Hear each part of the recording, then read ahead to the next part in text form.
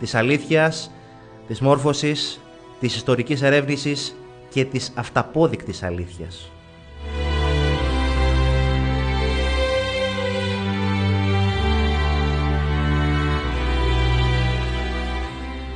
Καλημέρα στην πατρίδα του μεγάλου στοχαστή, φιλοσόφου, συγγραφέα Νίκου Καζαντζάκη, η οποία μας θύμισε σήμερα ε, πλήθος βρακοφόρων, πλήθος κριτικών, απογόνων του μεγάλου αγωνιστή Δασκαλογιάννη. Έφτασε χθες το βράδυ στην πόλη μας, άπλωσαν τη σημαία στο Λευκό Πύργο. Όλοι φαντάζομαι το είδαμε χθες μέσα από τα social media, όλοι σταθήκαμε περήφανοι. Η Κρήτη, η οποία ε, πλήρωσε βαρύ φόρο αίματος στην ε, Μακεδονία κατά την περίοδο του Μακεδονικού Αγώνα και της απελευθέρωσης και η οποία δίνει πάλι σήμερα το παρόν. Δίνει πάλι σήμερα το παρόν, τιμώντας το διαχρονικό μήνυμα του Νίκου Καζαντζάκη «Μη καταδέχεσαι να ρωτάς αν θα νικήσουμε, αν θα νικηθούμε, παρά μόνο πολέμα».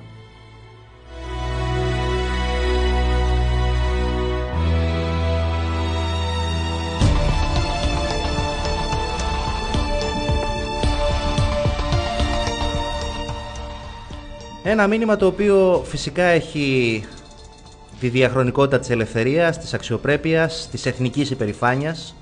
Άλλωστε όπως λένε και οι ίδιοι φίλοι μας οι κριτικοί, η Κρήτη έχει ανάγκη από κουζουλούς, αυτοί την κάνουν ελεύθερη. Αυτούς τους κουζουλούς δεν χρειαζόμαστε και εμείς εδώ στη Μακεδονία. Αυτοί δεν μας ελευθερώσανε. Αυτοί δεν μας κρατούν ελεύθερους. Αυτές τις μνήμες δεν κουβαλάμε. Αυτά δεν υπερασπιζόμαστε σήμερα. Κακά τα ψέματα. Αυτή είναι η πραγματικότητα.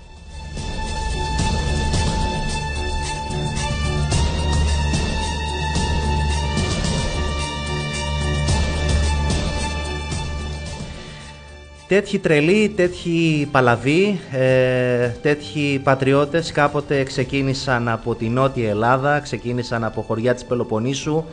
Ε, τώρα σας τα λέω αυτά για να καταλάβουμε την ποιότητα των Έλληνων της εκείνης της εποχής για να έρθουν και να ελευθερώσουν ε, ένα κομμάτι της Ελλάδος. Τώρα κάποιους να μην το ξέρουν, αλλά όταν ορκίστηκαν τα μέλη της φιλικής εταιρείας πριν την έναξη της Επανάστασης, ε, μίλησαν και είπαν ότι θα ορκιστούν ότι θα ελευθερώσουν την Ελλάδα. Δεν αφήσαν σύνορα, προδιαγεγραμμένα, σας το λέω εγνώσιμο.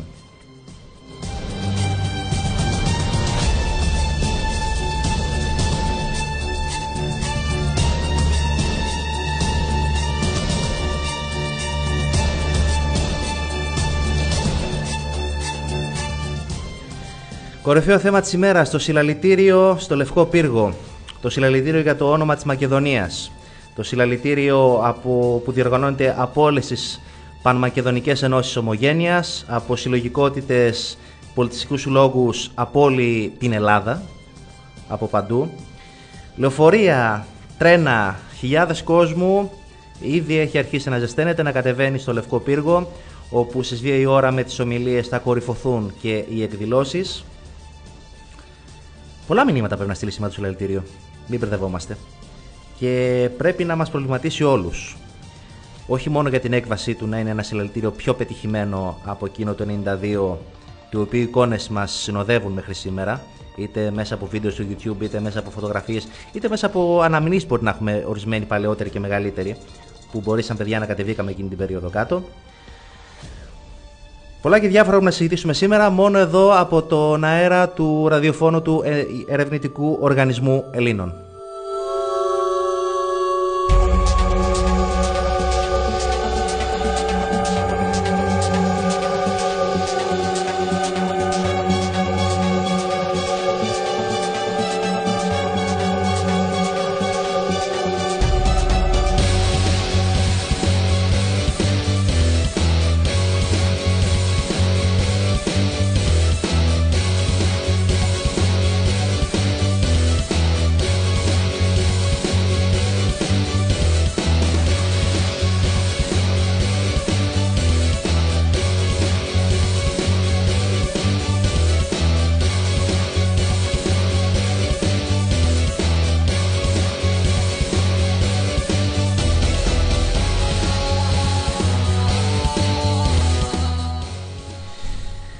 Ιστορία της Μακεδονίας, η ιστορία του ονόματος ξεκινάει από πολύ παλιά. Τώρα βέβαια Μας λέει, μπορεί να αναρωτηθεί κανείς τι μας λες τώρα πρωί-πρωί, ε, εμείς έχουμε το σελαλητήριο. Είναι ανάγκη σήμερα να κάνουμε μια ιστορική διαδρομή, φίλοι μου; Είναι ανάγκη λίγο να πάμε και πριν ε, την ανάκυψη του προβλήματος; Είναι ανάγκη να πάμε λίγο πίσω στην ιστορία; Πολλές φορές όταν ε, φτάνουμε στην κρίση ενός προβλήματος δεν πρέπει μόνο να αναρωτηθούμε τι κάναμε λάθος και φτάσαμε εκεί. Πρέπει να αναρωτηθούμε τι κάναμε σωστό και πώς οι ίδιες οι συγκυρίες, η μοίρα, οι καταστάσεις μας οδήγησαν μπροστά στο λάθος.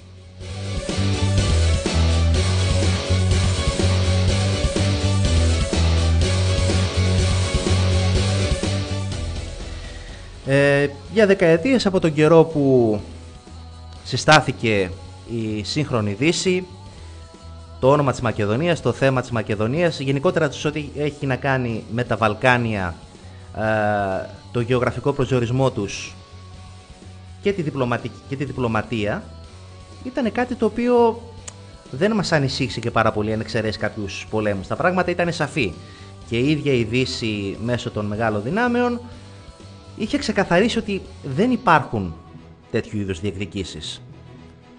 Τώρα γιατί μπορεί στα χρόνια να άλλαξε η θέση της διεθνούς κοινότητας και των μεγάλων δυνάμεων της δύσης σε αυτό το θέμα, ε, ίσως να έχει να κάνει διπλωματία, ίσως να έχει να κάνει ότι οι καιροί αλλάζουν, ίσως να έχει να κάνει ότι και εμείς δεν τηρήσαμε μια σωστή εξωτερική πολιτική. Όλα για να τα βάλεις κάτω και να τα σταχειοθετήσεις, από όπου και να το πιάσεις, υπήρχε το σημείο του μικρού ή του μεγάλου λάθους.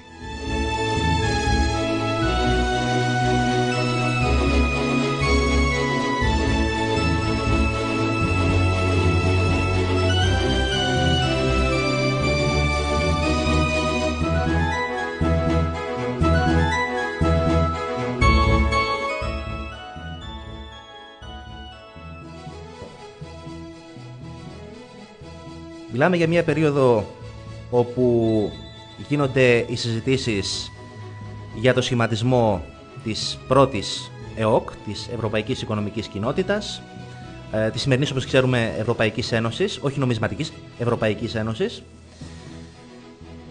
Υπάρχει μια πρώτη βουλιδοσκόπηση των μεγάλων χωρών της Ευρώπης για να πάμε σε αυτή την ένωση.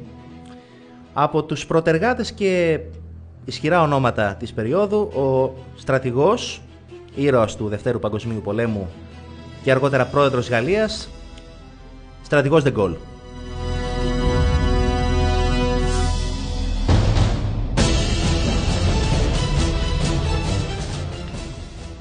Ερευνητικές συζητήσεις καθαρά. Αλλά όλοι λέγαν ότι η Ευρώπη αν δεν ενωθεί, αν δεν τεθεί κάτω από ένα κοινό, κοινοτικό πλέγμα, πλαίσιο, κοινή πολιτική θα οδηγηθεί για άλλη μια φορά σε έναν ακόμα καταστροφικό πόλεμο. Αυτό ήταν σαφές. Και όλη η Δύση, όλος ο κόσμος έλεγε πάμε επιτέλους για μια παγκόσμια ειρήνη.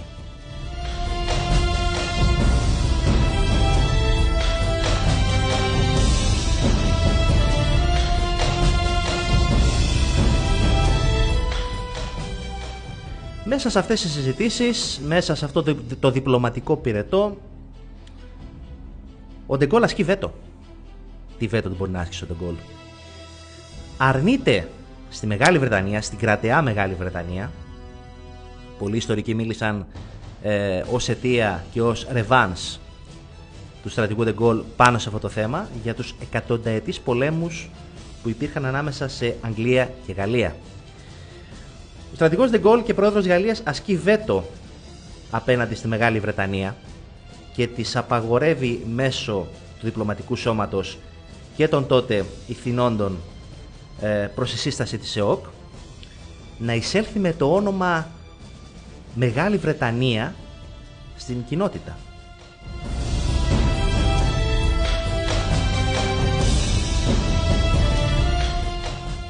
Ο λόγος ο λόγος ήταν ότι υπήρχε ένα χωριό, το οποίο υπάρχει ακόμα, στη Βόρεια Γαλλία, ε, πληθυσμού μεταβαλλόμενου γύρω στους 200 με 300.000 κατοίκους, το οποίο ονομάζεται Βρετάνη.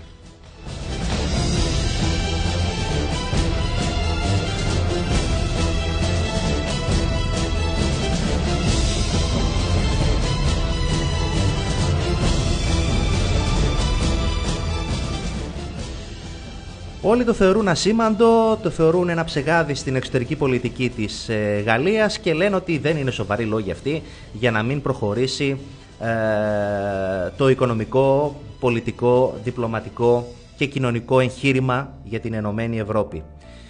Ο Ντικόλ όμως ε, βρίσκει την ευκαιρία να πάρει μια ρεβάνς. Δεν ξέρω κατά πόσο σκέφτηκε με λανθασμένο ε, ή ορθό τρόπο, αλλά όλα στη ζωή κρίνονται εκ του αποτελέσματος. Η Αγγλία, η Μεγάλη Βρετανία, εισήλθε στην τότε ΕΟΚ, αργότερα Ευρωπαϊκή Ένωση, και αποχώρησε πριν μερικούς μήνες με το δημοψήφισμα και τυπικά, όπως θα λέγαμε, με το όνομα Ηνωμένο Βασίλειο.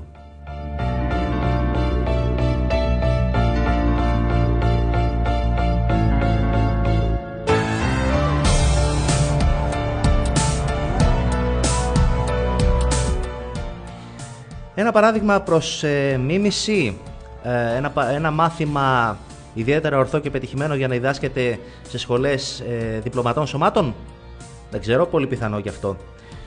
Πάντως ο Ντεγκόλ το κατάφερε. Τώρα βέβαια τι μας λες και άλλο μέγεθος η Γαλλία και άλλο στρατιωτικό, πολιτικό και κοινωνικό ε, φαινόμενο ο Ντεγκόλ. Έχει όμως την ουσία του. Έχει όμως την ουσία του. Αν κάποιος κάποτε θέλει σε προσβολή ε, ένα χωριό να έχει το ίδιο όνομα ε, με ένα κράτος σε διεθνές πλαίσιο, τότε εμείς οι ίδιοι γιατί για κάτι πολύ μεγαλύτερο γεωγραφικά, ιστορικά, πολιτιστικά και εθνικά για εμάς, το θέτουμε προς συζήτηση. Και όταν λέω εμείς δεν εννοώ όλους μας, εννοώ όσους διαχειρίζονται το ζήτημα με ένα πλαίσιο και με ένα ύφος. Εντάξει, μωρέ, και τι έγινε, όλος ο κόσμος το ξέρει έτσι. Δεν είναι έτσι, φίλο μου. Καθόλου έτσι.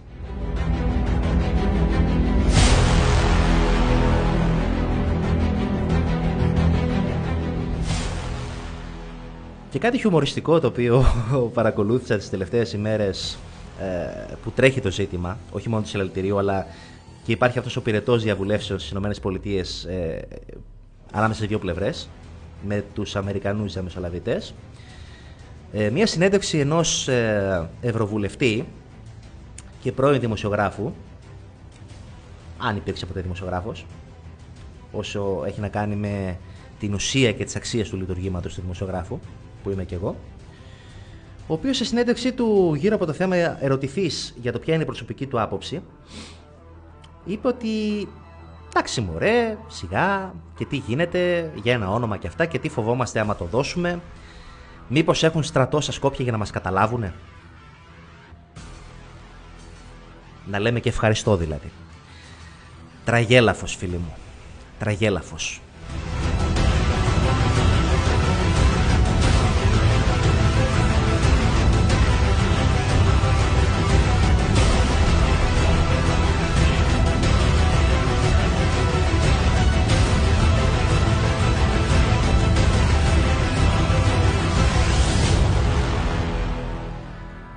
Αλλά πώς η διεθνής διπλωματία, η διεθνής κοινότητα, οι συγκυρίες ήρθαν έτσι από πλευράς Δύσης, από πλευράς Ευρώπης, από πλευράς διεθνών θεσμών πάνω στο ζήτημα αυτό και άλλαξαν κατά πολύ εις βάρος μας πάνω στο ζήτημα αυτό; Είναι ένα ερώτημα. Καλό όμως είναι να ανατρέχουμε όπως είπα και πριν στην ιστορία γιατί βρίσκουμε πολύ χρήσιμες απαντήσεις. Έγραφα, τα οποία βρέθηκαν για χρόνια σε ξεχασμένα συρτάρια, τα οποία αποτέλεσαν ισχυρά διαπραγματευτικά χαρτιά, αποδείξεις και τα οποία πολύ απλά αυτοκτόνησαν. Γιατί; Γιατί θαύτηκαν από μεριάς μας.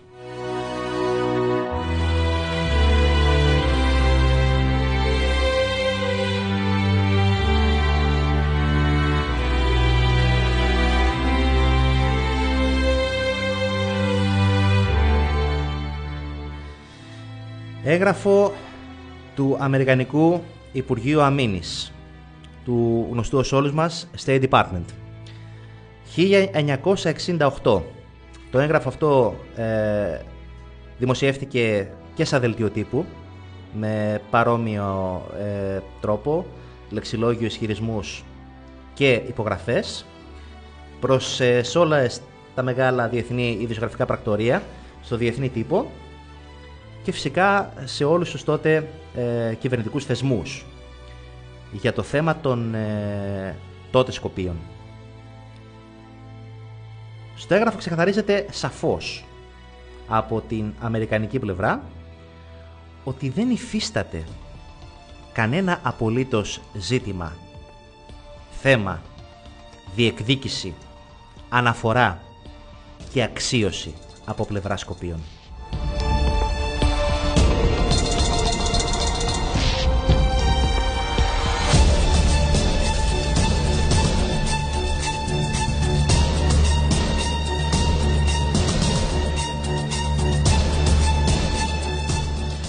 Αυτό το οποίο ξεκαθαρίζεται σαφώς σε μία παράγραφο ε, του δισέλιδου αυτού εγγράφου είναι ξεκάθαρα ότι δεν υπάρχει ε, Μακεδονία η οποία να έχει σχέση με οποιαδήποτε σλαβική προέλευση ότι τα δυτικά κράτη, η Ευρώπη και οι Ηνωμένες Πολιτείες δεν αναγνωρίζουν από πλευράς της τότε Σοβιετικής Ένωσης και των ε, Σοσιαλιστικών Δημοκρατιών καμία αξίωση, διεκδίκηση και αυτοπροσδιορισμό έναντι της Ελλάδος. Η ελληνικότητα της Μακεδονίας είναι αδιαπραγμάτευτη.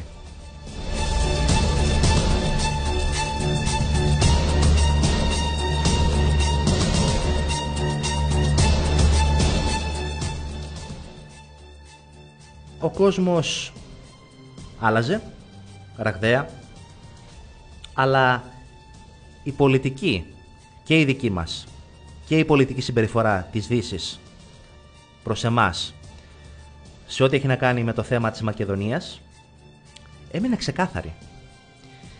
Και θα σας πω πάνω σε αυτό ένα πολύ απλό παράδειγμα. Έχουμε πάει πάρα πολλές φορές με το αυτοκίνητό μας, κακά τα ψέματα, δεν είναι ούτε κακό, ούτε άσχημο, ούτε ανθεληνικό. Έχουμε πάει κάποια σκόπια. Α μην το κρύβουμε. Α λέμε αλήθειες. Αλλά αυτό δεν έχει να κάνει καθόλου με την ονοματοδοσία της Μακεδονίας.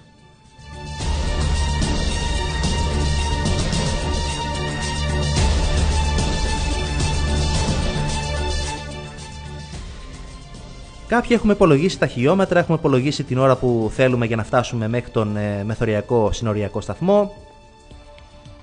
Είναι περίπου από εδώ από τη Θεσσαλονίκη μας Δύο ώρες, δυόμιση ώρες. Κάπου τόσο. Να φτάσεις εκεί, με το αυτοκίνητο να σταματήσεις να περάσεις. Είναι γύρω στις δυόμιση ώρες. Άντε τρεις σου λέω το πολύ. Το πολύ τρεις.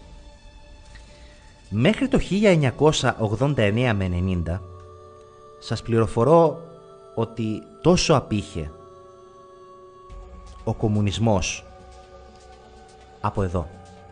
Δυόμιση ώρες.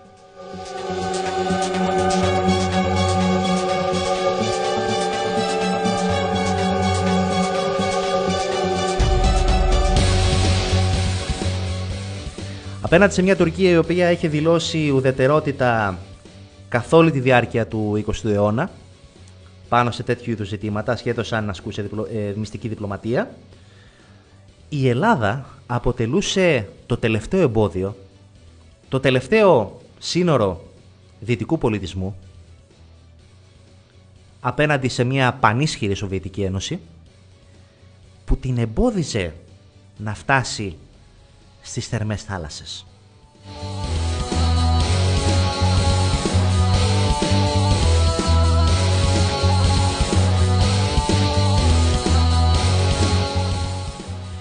Τα χρόνια φυσικά περάσανε, γίνανε πάρα πολλά λάθη σε ό,τι έχει να κάνει με την εξωτερική πολιτική. Ο κόσμος άλλαξε πάρα πολύ ραγδαία και δυστυχώς και εμείς δεν βρεθήκαμε σε θέση, ε, μιλάω για τις ελληνικές κυβερνήσεις, να έχουν ένα plan B όπως πολλοί θα ήθελαν να έχουν για την οικονομία και πάνω στο ζήτημα της εξωτερικής πολιτικής, πάνω στο ζήτημα των, των Σκοπίων.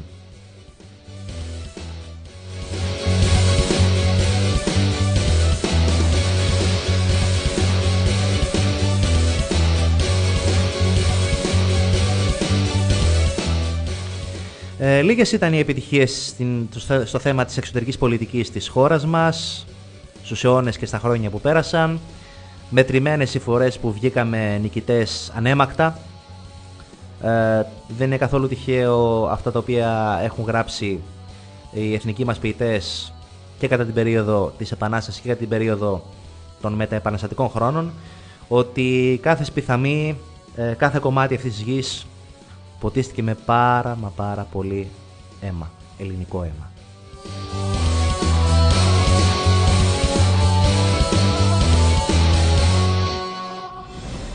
Αν θα μπορούσε κάποιος να χαρακτηρίσει ε, μία περίοδο πετυχημένη ασχέτως έκβασης, γιατί καμιά φορά η διπλωματία και η ευφυΐα πάνω στην πολιτική ε, δεν μπορεί να συνδυαστεί με το αναπόφευκτο. Δεν μπορεί να αποτρέψει το αναπόφευκτο. Δεν μπορεί να νικήσει το αναπόφευκτο. Παρά μόνο μπορεί να κάνει έναν ξεκάθαρο και σαφή σχεδιασμό για να μπορέσει να γυρίσει τη μοίρα τη δική του και του ίδιου του αναπόφευκτου. Μπορεί να γίνει αυτό, κρατήστε το.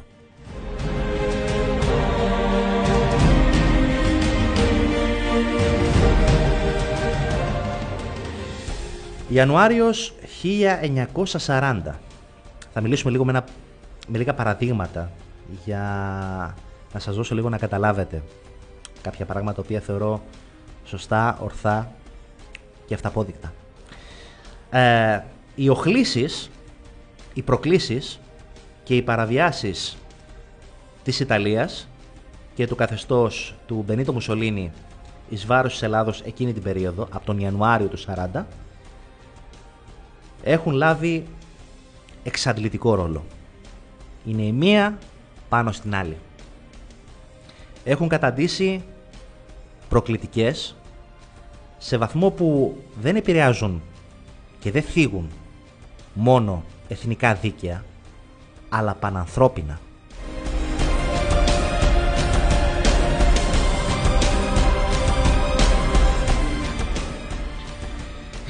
Η εξωτερική πολιτική που ασκήθηκε εκείνη την περίοδο από την κυβέρνηση του Ιωάννη Μεταξά και λέω το όνομά του γιατί δεν θα μπορούσα να μην το αναφέρω θα αναρωτηθούν πάρα πολύ ποιος ήταν εκείνη την περίοδο ο Πρωθυπουργός. Το ξέρουν πάρα πολύ. Ε, κάποιο ενοχλεί, κάποιο δεν ενοχλεί, σε κάποιους αρέσει. Πρέπει να αναφερόμαστε σε πρόσωπα. Κακά τα ψέματα, όσο και ορισμένοι και να πειράζονται, να φύγονται, να βγάζουν καντήλες, να θέλουν να παρουσιάσουν μια διαφορετική άποψη, θέση, χρήση ή και τομή της ιστορίας γύρω από την εποχή, τα γεγονότα και το πρόσωπο, τι να κάνουμε. Εκείνη την περίοδο στο τιμόν της χώρας ήταν ο Ιωάννης Μεταξάς.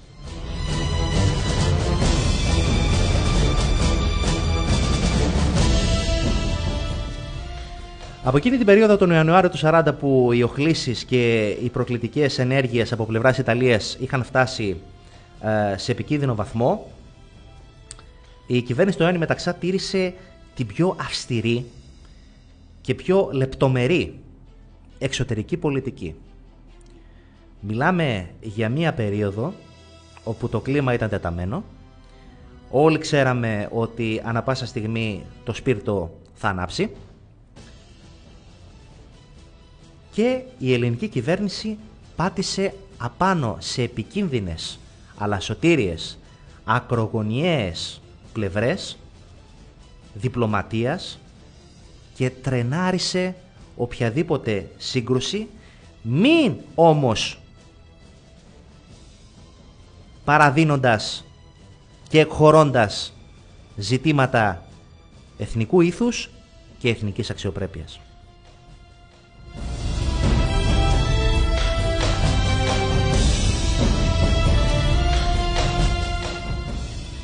Η Ιταλία εκείνη την περίοδο και το καθεστώς ε, του Μπενίτο Μουσολίνη, όπως φυσικά και οι περισσότεροι γειτονές μας, σε αυτή τη γωνιά της γης που είχαμε την τύχη για την ατυχία να ζούμε, την τύχη γιατί αναπτύξαμε το μεγαλύτερο πολιτισμό, το μόνο πολιτισμό, επιτρέψτε μου να πω, το μόνο σε ό,τι έχει να κάνει από πλευράς πληρότητας και ισχύως. Όλοι μας οι γείτονες και εκδίσεως από εκείνη την πλευρά προσπαθούσαν πάντα μέσω μιας επιθετικής ρητορικής, μέσω μιας, αν θέλετε, να το πω λαϊκά, μέσω ενός τσαμπουκά, να μας βάλουν στο τραπέζι του διαλόγου. Στο τραπέζι του διαλόγου όπου θα έπρεπε πρώτα να δώσουμε κάτι, να παραχωρήσουμε κάτι, να παραδεχτούμε κάτι, να εκχωρήσουμε κάτι και μετά να συζητήσουμε για το τι άλλο πρέπει να δώσουμε.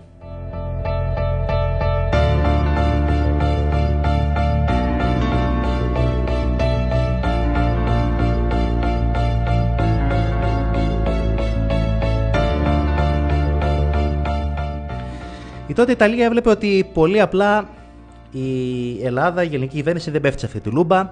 Από το 39 ε, έχει διαρρεύσει σε ιταλικά μέσα εφημερίδες, στον ιταλικό τύπο και σε κυβερνητικούς κύκλους γύρω από το καθεστώς ότι πρέπει να βρεθεί ένας τρόπος ε, για να φέρουμε την Ελλάδα στο τραπέζι του διαλόγου.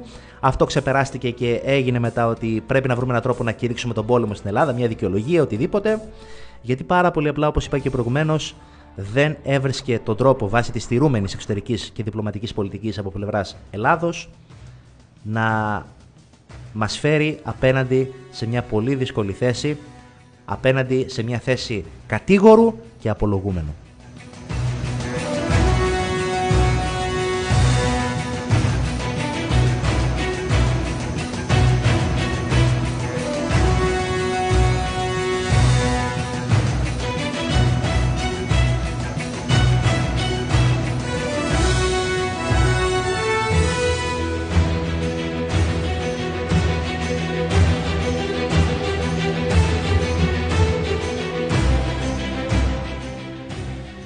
Και όταν ήρθε το πλήρωμα του καιρού και φτάσαμε κοντά στο αναπόφευκτο, κρίθηκε ότι η διπλωματία πρέπει να σταματήσει, ε, ότι πρέπει να κάτσουμε σε ένα τραπέζι διαλόγου το οποίο αναγκαστικά δεν θα πρέπει να είμαστε ε, συνομιλούντες και διαπραγματευτές, αλλά υπηρέτες. Και έτσι φτάσαμε στο 15 Αύγουστο εκείνης της χρονιάς και τον τορπιλισμό της Έλλης. Μια εξωτερική πολιτική η οποία φυσικά ήταν πετυχημένη, δεν μπόρεσε όμως να αποτρέψει το αναπόφευκτο σε ό,τι έχει να κάνει πάνω στο πεδίο της διπλωματίας και της εξωτερικής πολιτικής. Αλλά σε ό,τι έχει να κάνει στο κομμάτι του πολέμου, παρότι θερεφώ μια μεγάλη ε, αγάπη αν θέλετε, πολιτιστική και συμπάθεια απέναντι στον Ιταλικό λαό και στην ε, Ιταλία γενικότερα, αν είχαμε συνεχίσει στο πεδίο των μαχών, ίσως να φτάναμε και μέχρι τη Ρώμη τότε.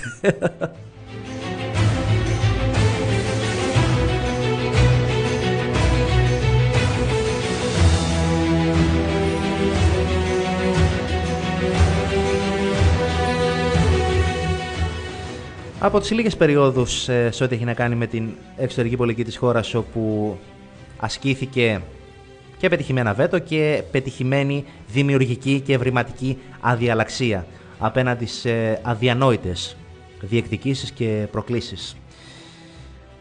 Να επιστρέψουμε όμως στο κύριο θέμα της ημέρας που είναι η Μακεδονία μας, ε, που είναι τα Σκόπια, που είναι το συλλαλητήριο της ημέρας γιατί κατά ψέματα μπορεί να σας κούρασε λίγο σε ό,τι έχει να κάνει με την περίοδο ε, του 40, την περίοδο του Ελληνοϊταλικού πολέμου αλλά το έκανα πιστέψαμε με χρηστικό τρόπο.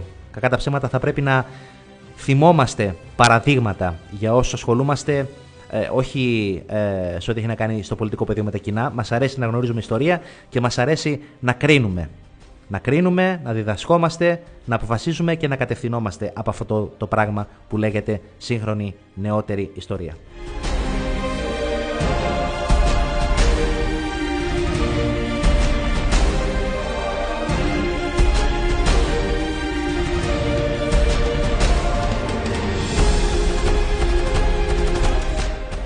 Τα χρόνια από τότε περάσανε. Ε, Όπως είπαμε και προηγουμένως, ο στρατηγός Ντεγκόλ και η Ευρώπη τότε μίλησε για μια παγκόσμια ειρήνη. Και κάπου στα τέλη του 89, αρχές 90, ε, ο κόσμος άλλαξε οριστικά. Η Σοβιετική Ένωση και ο λεγόμενος υπαρκτός σοσιαλισμός κατέρευσε. Ένα κομμάτι το οποίο είναι πολύ κοντά σε εμάς και με το οποίο ασχολούμαστε σήμερα ε, συστάθηκε, επανασυστάθηκε και πολύ σύντομα, και μιλώ για τη γειτονική χώρα των Σκοπίων, ε, άρχισε να αναζητά, όχι ταυτότητα, γιατί η αναζήτηση πολλές φορές και παίρνει πάρα πολύ καιρό και αν θέλετε επανεξετάζεται πάρα πολλές φορές για το αν είναι ορθή και σωστή. Άρχισε να διεκδικεί ξένες ταυτότητες, είναι σαφές, είναι ξεκάθαρο. Άρχισε να διεκδικεί συνεχώς πράγματα και άρχισε πολύ απλά να τα διεκδικεί σε κορυφαίο επίπεδο.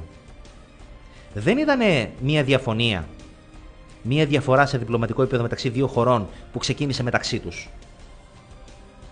Ήταν μια συζήτηση που ξεκίνησε από πλευρά Σκοπίων και πήγε προς την Ευρώπη, προς τα μεγάλα διεθνή και πολιτικά κλιμάκια, για να έρθουν αργότερα με μεγαλύτερη ισχύ από πλευράς διεθνών πολιτικών συγκυριών και κυβερνήσεων να θέσουν το θέμα στην Ελλάδα.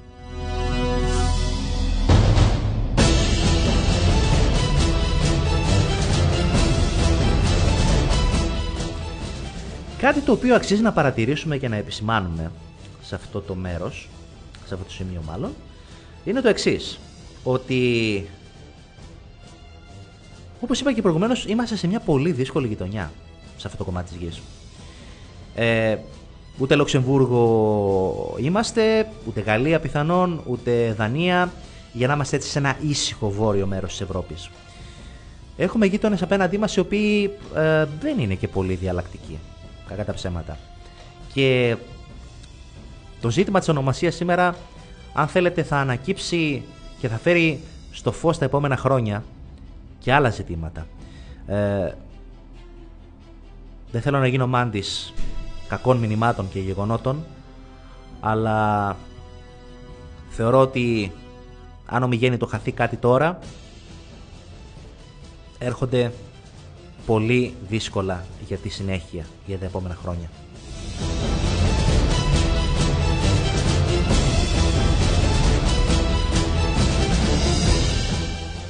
Ε, πολλές φορές πάνω σε τέτοιου είδους ζητήματα η διεθνή κοινότητα μας κάλεσε να καθίσουμε στο τραπέζι του διαλόγου. Ε, πολλές φορές ε, κληθήκαμε να δώσουμε το καλό παράδειγμα. Και δεν ξέρω και διαρωτώ με και ρωτώ και εσάς. Πραγματικά πρέπει να είμαστε συνεχώς οι καλοί διδάσκαλοι; Δεν ξέρω, αναρωτιέμαι πραγματικά. Και είναι και κάτι άλλο. Είναι το ότι πάρα μα πάρα πολύ απλά δεν χρησιμοποιήσαμε ένα ισχυρό διαπραγματευτικό χαρτί. Ότι είμαστε το πρώτο μόνο βαλκανικό, μεσογειακό κράτος, έθνος, ορθόδοξο, το οποίο μπήκε στην τότε ΕΟΚ, τότε Ευρωπαϊκή Ένωση.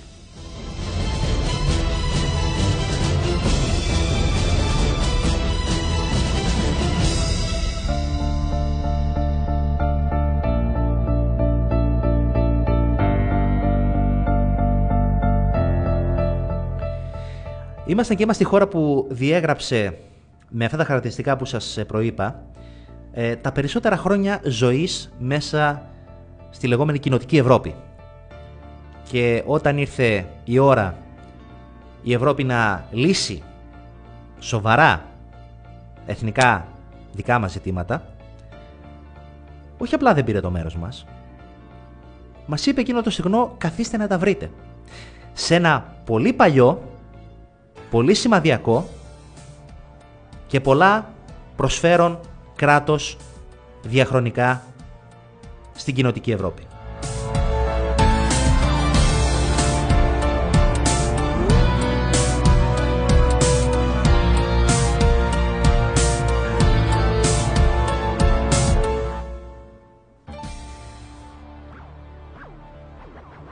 Πρωτοσέλιδα. Πάρα πολλά σήμερα. Πάρα πολλά. Ε, τα οποία έχουν διαρρεύσει το προηγούμενο διάστημα. Μάλιστα, δύο εφημερίδες του εγχώριου ελληνικού τύπου κυκλοφορούν σχεδόν με το ίδιο πρωτοσέλιδο και μιλάω για την ελευθερία του τύπου και για την Εσπρέσο που κάνουν αναφορά στο συλλαλητήριο. Ε, κάνουν αναφορά στο πρόσωπο του πρώην Πρωθυπουργού Κώστα Καραμαλή.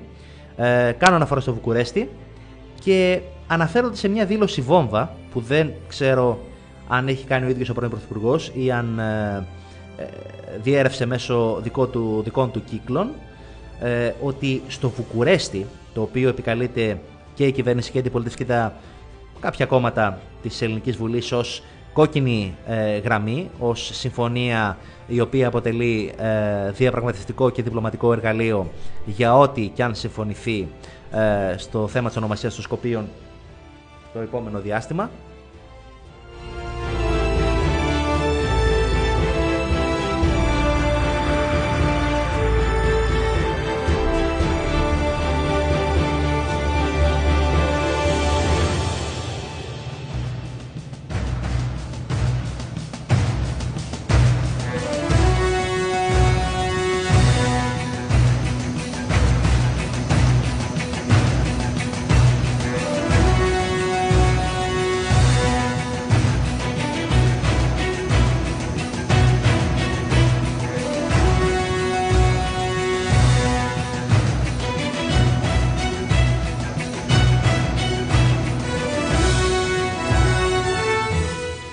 Δήλωση του πρώην Πρωθυπουργού, όπως σας έλεγα προηγουμένως, που λέει το εξής: Ότι στο Βουκουρέστι το 2008 δεν συμφωνήθηκε τίποτα το οποίο να εμπεριέχει τον όρο Μακεδονία.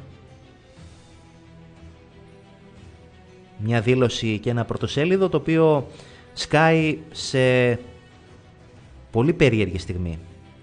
Δεν ξέρει κανείς ε, μέσος Έλληνας αν θα πρέπει από αυτό να πάρει θάρρος, να προβληματιστεί, να δικαιωθεί.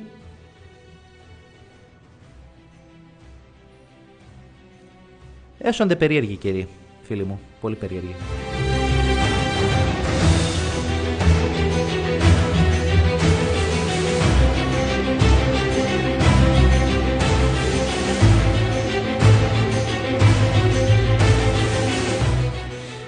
Να πάρουμε λίγο παλμό από το θέμα της ημέρας, ό,τι έχει να κάνει, να πάρουμε ένα σφιγμό, να έχουμε μια γεύση για το τι γίνεται για το συλλαλητήριο. Ε, έχουμε εικόνα μέσω από το site του ΕΟΕ, του Ερευνητικού Οργανισμού Ελλήνων, από το οποίο μας ακούτε. Ε, ήδη έχουμε συνδεθεί με το Λευκό Πύργο, κοντά στο άγαλμα του Μεγάλου Αλεξάνδρου, όπου βλέπουμε πάρα πολύ κόσμο να μαζεύεται ήδη. Ο καιρός πιστεύω θα είναι σύμμαχός μας σήμερα. Θα είναι σύμμαχός μας σε αυτή τη μεγάλη εκδήλωση, σε αυτή τη μεγάλη προσπάθεια, σε αυτό το μεγάλο μήνυμα το οποίο θέλουμε να στείλουμε. Και είναι συγκινητικό να βλέπεις ανθρώπους, πολίτες αυτής της χώρας που τα τελευταία χρόνια της οικονομικής κρίσης έχουν δεχτεί τα πάντα. Τα πάντα πραγματικά. Δηλαδή, εισοδήματα έχουν κατακριουργηθεί, ε, ζωές έχουν ε, καταστραφεί. Και κατεβαίνουν και φροντοφωνάζουν υποστηρίζουν και διατυμπανίζουν το, το ξεκάθαρο, το σαφές, αυτό το οποίο είναι η αλήθεια μας και, και, και μην την μπερδεύουμε, μην τη θέτουμε προς συζήτηση φίλοι μου. Ότι η Μακεδονία είναι Ελλάδα.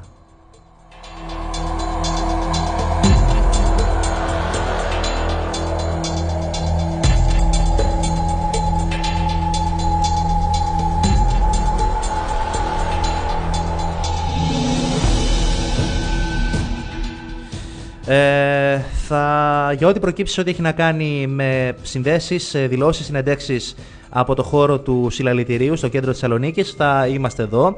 Ε, θα σα ενημερώσουμε. Έχουμε μεγάλο ραδιοφωνικό μαραθώνιο σήμερα.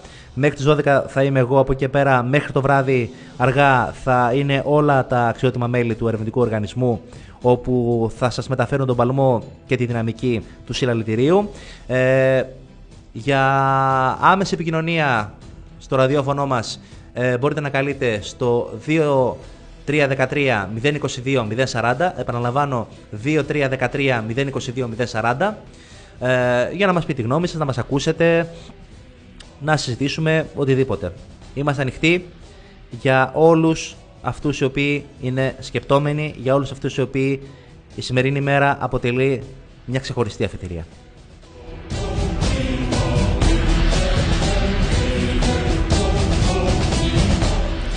Ε, πάνω στο θέμα της γειτονίας που έλεγα και προηγουμένως, για να συνεχίσω, ε, είναι ξεκάθαρο το εξής ότι είμαστε μια γειτονιά πάρα πολύ δύσκολη και μια γειτονιά που η συζήτηση και η διαλεκτικότητα είναι κάτι το οποίο δεν χαρακτηρίζει και κατά πολύ τους ε, γειτονές μας.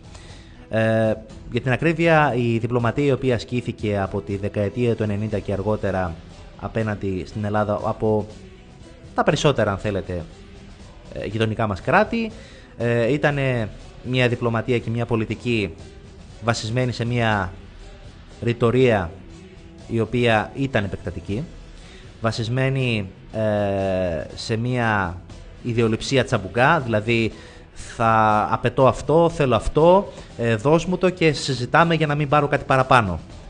Ε, το θέμα της ονομασίας, αν θέλετε, δεν είναι το μόνο. Και αυτό το οποίο σας είπα προηγουμένως ότι αν το κάτι χαθεί τώρα, να είμαστε έτοιμοι, έτοιμοι για ένα ντόμινο απολειών, να κάνει να βγω ψεύτης, θέλω να βγω ψεύτης, έχει να κάνει με το, αυτό που σας είπα προηγουμένως. Η Δε Δύση κάποτε ε, μας απείλησε, μας εκβίασε ε, και μιλώ για την ε, περίοδο του 40 με τον Ελληνικό πόλεμο να μας βάλει στο τραπέζι του διαλόγου με τον Τζαμπουκά.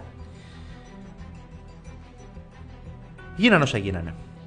Ε, η δε μία χώρα εκ του βορρά λέει ότι επεκτείνεται μέχρι την Άρτα. Οι δε σημερινοί πρωταγωνιστές λένε ότι τα Σκόπια είναι Μακεδονία. Η δε τρίτη χώρα έχει ορίσει ότι βάσει συνταγματικής υποπαραγράφου ότι δόγμα είναι η Βουλγαρία να φτάσει μέχρι το Αιγαίο. Με τη δε Τουρκία, κακά τα ψέματα, κάθε 7-8 χρόνια έχουμε κάτι να ασχολούμαστε. Ε, τελευταίο και σημαδιακό ήταν τα ίμια. Τα ίμια τα οποία είναι σε λίγες μέρες από τώρα, οι Τούρκοι το ξέρουν, είχαμε τις γνωστές οχλήσεις στο Αιγαίο με τις ε, πυραυλάκα τους, με τα αντιτορπιλικά, ε, με τις κανονιοφόρους, έτσι να θυμόμαστε επαιτειακά τι έγινε. Ωραία πράγματα, ωραία.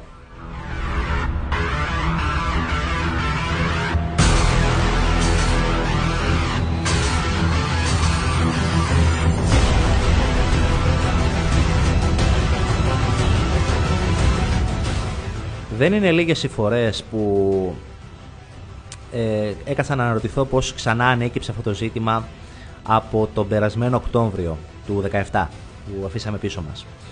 Ε, είναι ένα ζήτημα το οποίο όπως σας είπα προηγουμένως ε, μετά από πάρα πολλές κυβερνήσεις και πάρα πολλές φαινομενικά οριστικές λύσεις οι οποίες είχαν ε, τη διαλλακτικότητα λανθασμένη η ορθή είναι μιας άλλης ε, τάξης συζήτηση αυτή ε, είχαν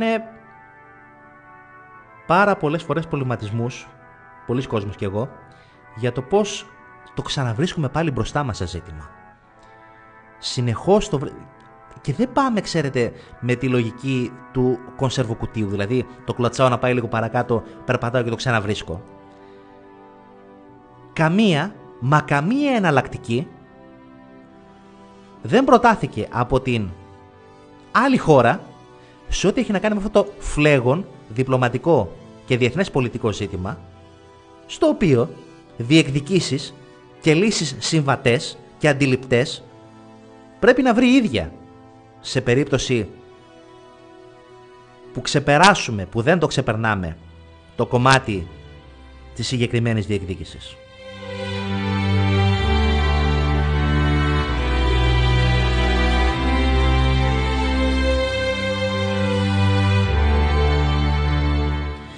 Όπως σας είπα, ε, τα πράγματα ήδη ξέραμε από τον περασμένο Οκτώβριο ότι θα οδηγηθούν πάλι σε μια ανάκυψη και επανεκκίνηση του θέματος.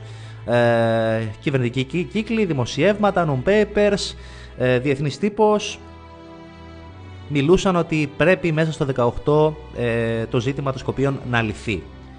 Ε, δεν θα μπω σε καμία διαδικασία να κρίνω και να επιχειρηματολογήσω βάσει των όσων ακούγονται για ΝΑΤΟ, Ηνωμένες Πολιτείες, ε, Ευρωπαϊκή Ένωση και είσοδος ε, των Σκοπίων σε αυτή. Θα πρέπει να δούμε το ζήτημα, αν θέλετε, σε κάποιες άλλες παραμέτρους και κάποιες άλλες δομικές ακρογωνιαίες αλήθειες του. Αυτή είναι η πραγματικότητα.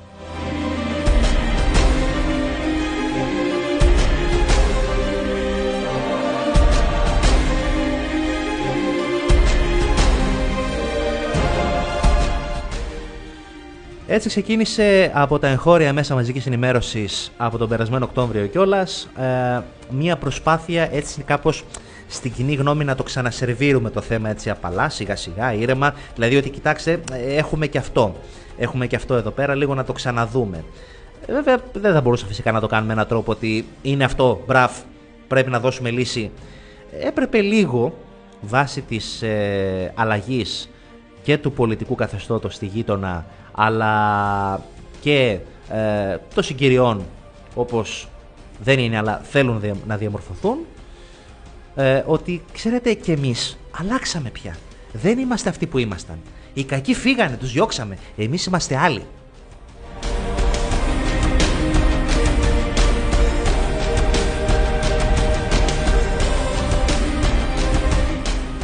Λυπάμαι πάρα πολύ που σε αυτή την προσπάθεια είδα καταξιωμένους και έγκριτους δημοσιογράφους ε, να τίθενται σε αυτή την υπηρεσία. Λυπάμαι που είδα, εκφράζω καθαρά προσωπική άποψη, ε, φωτισμένους και επιφανείς ιεράρχες στις εκκλησίες των Βαλκανίων ε, να μιλούν μια γλώσσα όχι διαλλακτική, αλλά γλώσσα προσχώρησης. Ξέρετε, γύρω από το πρόσχημα ε, της καλής γειτονίας, της ανθρώπινης αλληλεγγύης και αν θέλετε ακόμα της χριστιανικής πίστεως, κακά τα ψέματα δεν μπορούμε να κινηθούμε μόνο με αυτά. Η εξωτερική πολιτική είναι πιο σαφής και όπως έλεγε κάποτε και κάποιος ηθοποιός σε μια ταινία, καλή είναι η ειρήνη όταν τη θέλουν όλοι.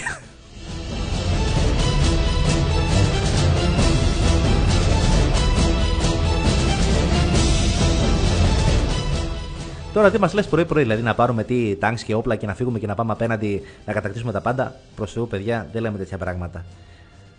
Απλά δεν είναι ποτέ δυνατόν να διαπραγματευόμαστε, να, δε, να δεχόμαστε δηλαδή να συζητήσουμε το ζήτημα της ελληνικότητας και της ονομασίας Μακεδονίας. Αυτό είναι ξεκάθαρο. Και χαίρομαι που πριν ε, κάτι μέρες, όχι μήνες ουσιαστικά, το διάστημα εκείνο που είχε ανακύψει η συζήτηση, βρέθηκαν καταξιωμένοι καλλιτέχνες οι οποίοι παρενέβησαν ε, τηλεφωνικά σε διάφορες εκπομπές πολιτικού ρεπορτάζ και είπαν ότι καθίστε ρε παιδιά, τι συζητάμε τώρα δηλαδή; Αν η Μακεδονία είναι ελληνική, είστε καλά. Καλλιτέχνες. Οι οποίοι, σας πληροφορώ πολύ, δεν ήταν από εδώ. Μακεδόνες, Θεσσαλονίκης, οτιδήποτε. Βορειοελλαδίτες. Άνθρωποι της τέχνης.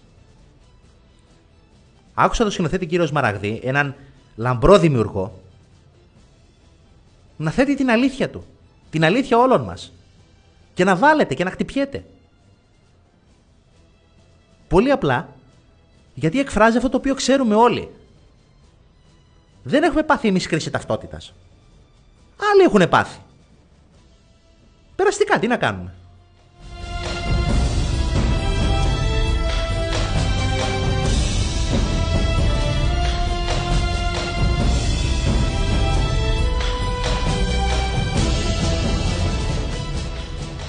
Ε, Όπως σα έλεγα προηγουμένως, συνεντέξει, δοκιμαντέρ και τηλεοπτικές εκπομπές γύρω από το όνομα ε, των Σκοπίων, γύρω από την αλλαγή πολιτικής ηγεσίας στα Σκόπια, ε, γύρω από την ιστορία του ζητήματος αυτού στην ελληνική πολιτική σκηνή από το 1990 περίπου. Και όλα αυτά σερβιρισμένα, πλασαρισμένα ε, γύρω σε ένα πλαίσιο έλα μωρέ πρέπει να τα βρούμε. Δεν θα μιλήσω ούτε ε, για τα πρόσωπα ειδικότερα, ούτε για τις συγκεκριμένες απόψεις. Ο καθένας έχει την απόψή του, ο καθένας την εκφράζει, ο καθένας ε, είναι ελεύθερος να λέει αυτό το οποίο πιστεύει. Δεν σημαίνει ότι είναι και σωστό. Δεν το απαγορεύουμε σε κανέναν. Όμως δεν μπορεί να είμαστε και τρελοί. Δεν μπορεί να είμαστε τρελοί.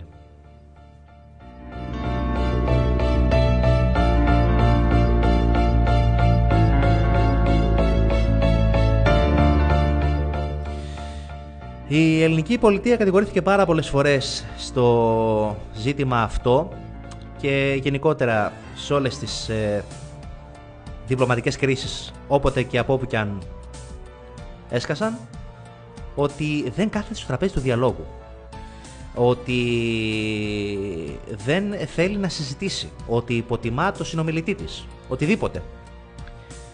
Ένα από τα μεγαλύτερα λάθη της Ευρώπης της Δύσης, ε, των μεγάλων δυνάμεων όπως θα έλεγε και ο Καποδίστριας κάποτε, ήταν το γεγονός ότι μας ανάγκασαν στο συγκεκριμένο ζήτημα την περίοδο 92-93 να καθίσουμε στο τραπέζι του διαλόγου υποχρεωτικά.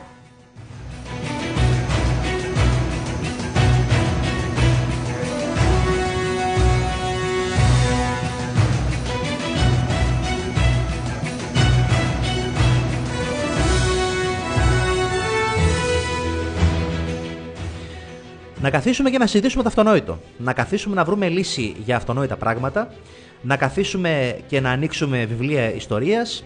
Να καθίσουμε και να αποδείξουμε ότι η Μακεδονία είναι ελληνική. Να καθίσουμε και να διαπραγματευτούμε το όνομά της. Ε, να καθίσουμε και να δώσουμε δανεική ταυτότητα και προσωρινή υπόσταση. Λάθη της Ευρώπης πάρα πολλά. Δεν ξέρω ποιο ήταν το πλαίσιο ε, διορατικότητας το οποίο μπορεί να σκέφτηκε. Σε κάθε περίπτωση όμως υπάρχει αν θέλετε και ιστορικό προσφοράς. Και τι εννοώ με αυτό. Η ίδια η Ευρώπη, της οποίας μέλος, όπως σας είπα και προηγουμένως, ήμασταν το παλαιότερο κράτος, βαλκανικό, μεσογειακό, ορθόδοξο, ανάγκασε εμάς, ως παλαιότερο μέλος, τέτοιου ρόλου και τέτοιου είδους, να καθίσουμε και να διαπραγματευτούμε κομμάτι της δικής μας εθνολογικής ταυτότητας με ένα νεοσύστατο κράτος. Με μία πρόσχερα γενόμενη και διάδοχη πολιτεία η οποία πριν μερικούς μήνες, πριν μερικά χρόνια, από εκείνη την περίοδο στις αρχές του 90 αποτελούσε Σοβιετική Σοσιαλιστική Δημοκρατία.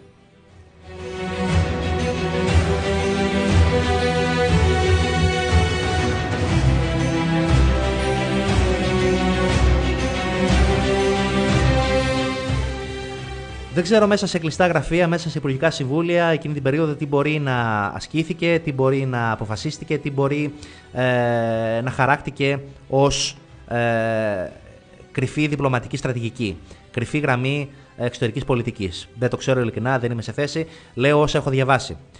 Ε, το λάθος, αν θέλετε, για μένα σε γενικότερο πλαίσιο έχει να κάνει το ότι πάρα πολύ απλά δεν είπαμε στην Ευρώπη το εξής σαφές.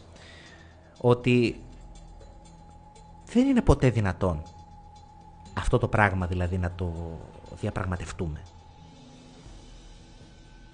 Μπορεί να διαπραγματευτεί ένας Γάλλος τη γαλλικότητα της Βρετάνης μπορεί να διαπραγματευτεί ένας Γερμανός τη γερμανικότητα της Βαβαρίας; Εδώ καλά καλά δεν μπορεί ένας Ισπανός σήμερα να διαπραγματευτεί την Ισπανικότητα, δόκιμος όρος, δόκιμη όρη επιτρέψτε μου, της Βαρκελόνης. Ασχέτως όσων έχουν γίνει με δημοψηφίσματα και τη σαφή. Να πούμε ότι πολύ απλά αυτοί, αυτοί οι άνθρωποι, αυτό το σεβαστό κράτος γειτονικό, μπορεί να ισχυρίζεται ό,τι θέλει. Εμείς γιατί να το δεχτούμε; Και εσείς φίλοι Ευρωπαίοι, Μας αναγκάζεται να καθίσουμε ως παλαιότερο μέλος της Ευρωπαϊκής Ένωσης, της ΕΟΚ, που έχουμε προσφέρει και οικονομικά και πολιτιστικά και πολιτικά και κοινωνικά και μορφωτικά στην Ευρώπη, να καθίσουμε να συνδιαλλαγούμε μαζί τους και να μας πείτε έτσι στιγνά, βρείτε λύση. Εμείς βρήκαμε μία, δύο, τρεις, τέσσερις, πέντε. Δεν θα κρίνουν σωστές ή λάθος. Υπήρξαν ενδιάμεσες συμφωνίες, οι οποίες παραβιαστήκανε. Δεν τηρήθηκαν καθόλου. Λάθος δικό μας. Το πήγαμε το θέμα πολύ παρακάτω.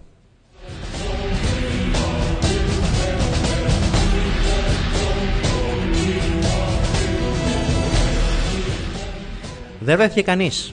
Κανείς να πει το εξής σαφές. Στην τότε Ευρωβουλή, στο τότε Ευρωκοινοβούλιο, στα τότε μεγάλα πανεπιστημιακά ιδρύματα που εδιδάσκετο η γλώσσα των αρχαίων ελληνικών. Τα λατινικά. Η Παλαιά Διαθήκη.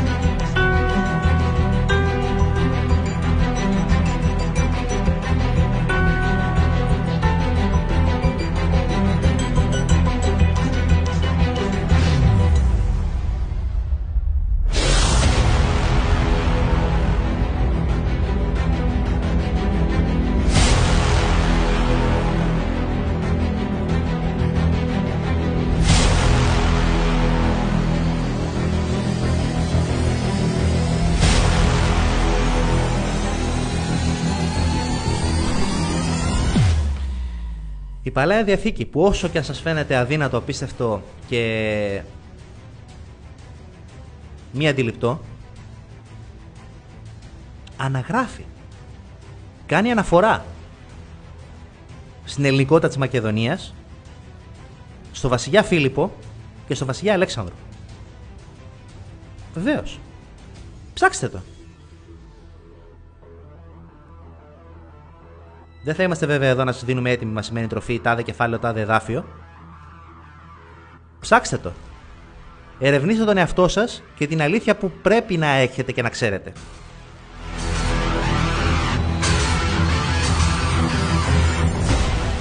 Κανείς δεν είπε στο τότε Ευρωκοινοβούλιο, κανείς δεν είπε στους τότε αρμόδιους κυβερνητικούς φορείς σε όλη την Ευρώπη να πούν να ψάξουν σε μια βιβλιοθήκη, ε, να ψάξουν σε Στις γραφές, στα γεγονότα, για να δουν το πιο απλό, το πιο σαφές. Σε ποια γλώσσα μίλησε και έγραψε και δίδαξε ο Αριστοτέλης. Σε ποια γλώσσα μίλησε ο Μέγας Αλέξανδρος. Σε ποια γλώσσα έγραψε ο Στράβωνας το «Έστεινουν Ελλάς και η Μακεδονία».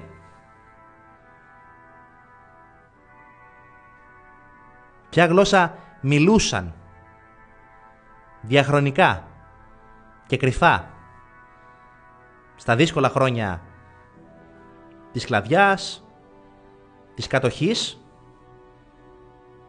από τα βόρεια φύλλα, οι αυτόχθονες γηγενείς Μακεδόνες. Οι Έλληνες. Μην τον μπερδεύετε το αυτόχθονες γηγενείς. Η γλώσσα δυστυχώς με τη μορφή που έχει, τον πλούτο, που είναι μια πάρα πολύ ωραία γλώσσα ελληνική, δίνει την ευκαιρία πάρα πολλές φορές να μετατραπεί και σε κοπίδι. Να στρεβλώσει αλήθειες, να πει πράγματα με άλλα λόγια,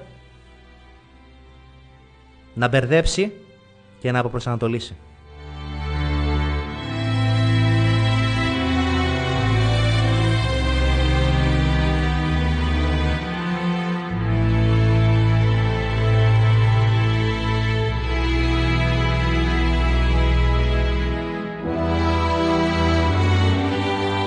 Στείλω πολλές ευχές, πολλούς χαιρετισμούς, πολλά μπράβο και Πολύ αγάπη σε Αμερική, Αυστραλία,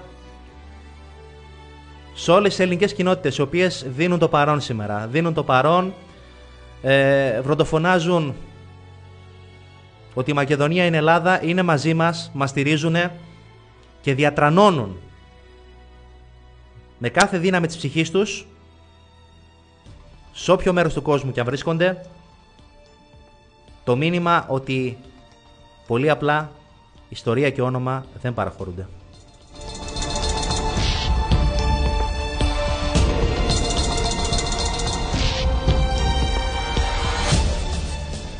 Είμαστε στη διάθεσή σας ε, το τηλέφωνο για να επικοινωνήσετε με το ραδιόφωνο του Ερευνητικού Οργανισμού Ελλήνων, το οποίο είναι 2313-022-040. Επαναλαμβάνω, 2313-022-040. Ε, περιμένουμε τη δική σας γνώμη, τη δική σας άποψη, τη δική σας θέση, το δικό σας μήνυμα στήριξης σε μια μέρα, μια μέρα για τη Μακεδονία, για την Ελλάδα, όπου θα είναι μαραθώνιο το έργο. Όχι μόνο το δικό μας, όλων όσων αγωνίζονται για το αυτονόητο.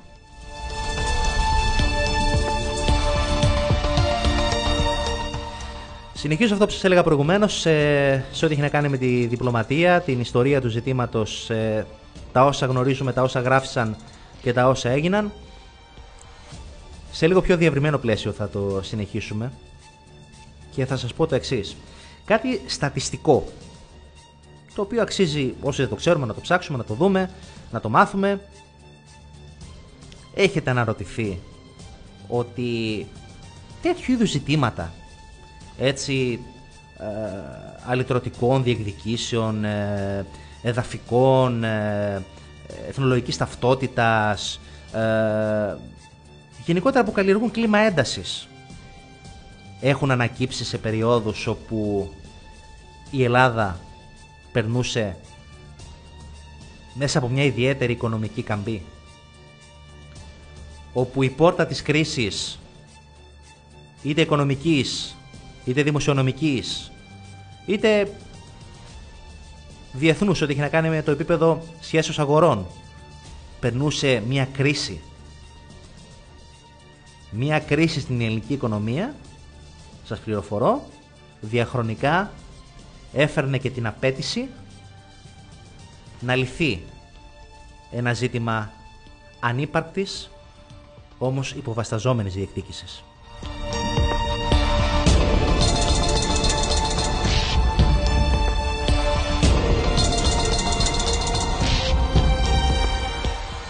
Ε, το 1992 ήταν μια περίοδος οικονομικά για την ε, χώρα μας όπου προέκυψε και το ζήτημα ε, της ονομασίας των Σκοπίων, των αυτών διεκδικήσεων ε, όπου οικονομικά βέβαια δεν ήταν όπως είναι σήμερα τα πράγματα. Η οικονομία θα έλεγα ήταν περισσότερο ανθυρή ε, το τα εισοδήματα γενικότερα στην Ελλάδα ήταν πολύ πιο υψηλά. Αλλά υπήρχε η ορατότητα του μεγάλου οικονομικού κόμβου, του μεγάλου οικονομικού εγχειρήματος. Υπήρχε από επένδυση, όχι στο βαθμό που είναι σήμερα, αλλά μέσα σε αυτό το πλαίσιο της λύσης και της άσκησης διπλωματίας γύρω από το θέμα της ονομασίας Σκοπίων, υπήρχε και ο μεγάλος κόμβος οικονομικός, επιχειρηματικός, διεθνής, κυβερνητικός αν θέλετε, του εγχειρήματος του 92, της τότε ευρωπαϊκής ολοκλήρωσης οικονομικής και κοινωνικής στο πρώτο στάδιο της και λίγο πριν τη συνθήκη του Μάστριχτ.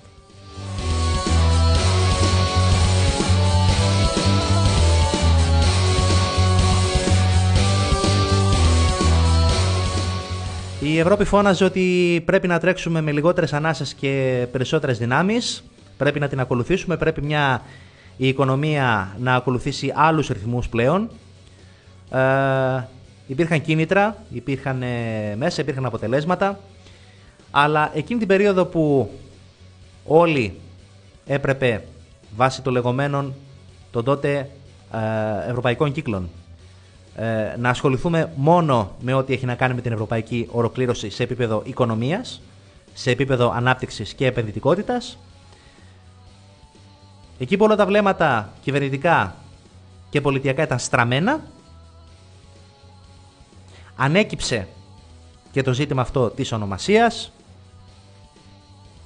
το οποίο έφερε από μεριάς Ευρώπης τον ισχυρισμό ότι κοιτάξτε πρέπει να λυθεί και αυτό, πρέπει να δούμε κατά πόσο είστε ισχυροί και στο κομμάτι της εξωτερικής πολιτικής, πρέπει να είμαστε κοντά σας, πρέπει να συμπεριφέρεστε όχι σαν κράτος πλέον το οποίο έχει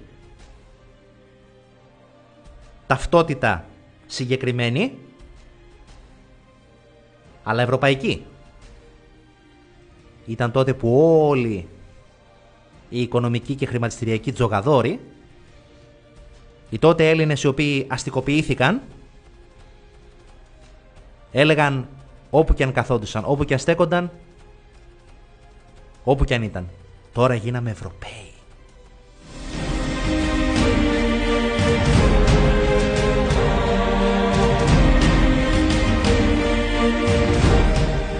Γίναμε Ευρωπαίοι, η Ευρωπαϊκή λύση όμως δεν ήρθε στο ζήτημα αυτό. Απλά το θέμα πήγε πολύ παρακάτω, κάποια χρόνια παρακάτω. Ανέκυπτε, ξαναρχόταν μπροστά μας, η οικονομία προχωρούσε, τα χρόνια προχωρούσαν. Ε, η εγχώρια πολιτική σκηνή έλεγε ότι εντάξει, μωρέ, το ξεχάσαμε κιόλας, σιγά και τι έγινε, και άσου να λένε ότι θέλουν. Το θέμα όμως είναι ότι χτίστηκε μια ταυτότητα γύρω από αυτό στα χρόνια που πέρασαν.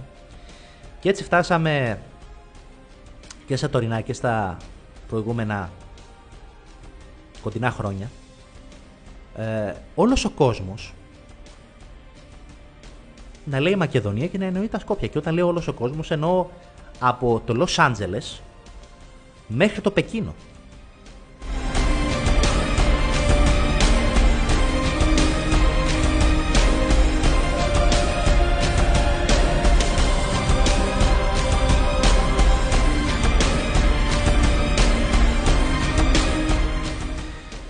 Αποσία σοβαρής, ακέραιης και σαφής εξωτερικής πολιτικής από όλες τις κυβερνήσεις.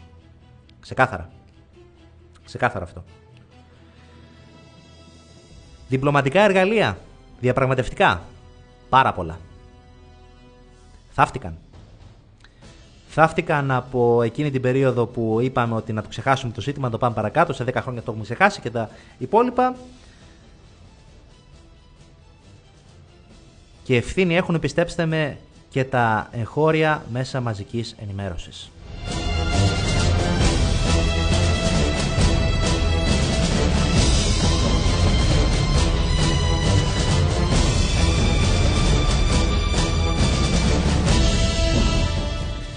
Το θέμα είναι ότι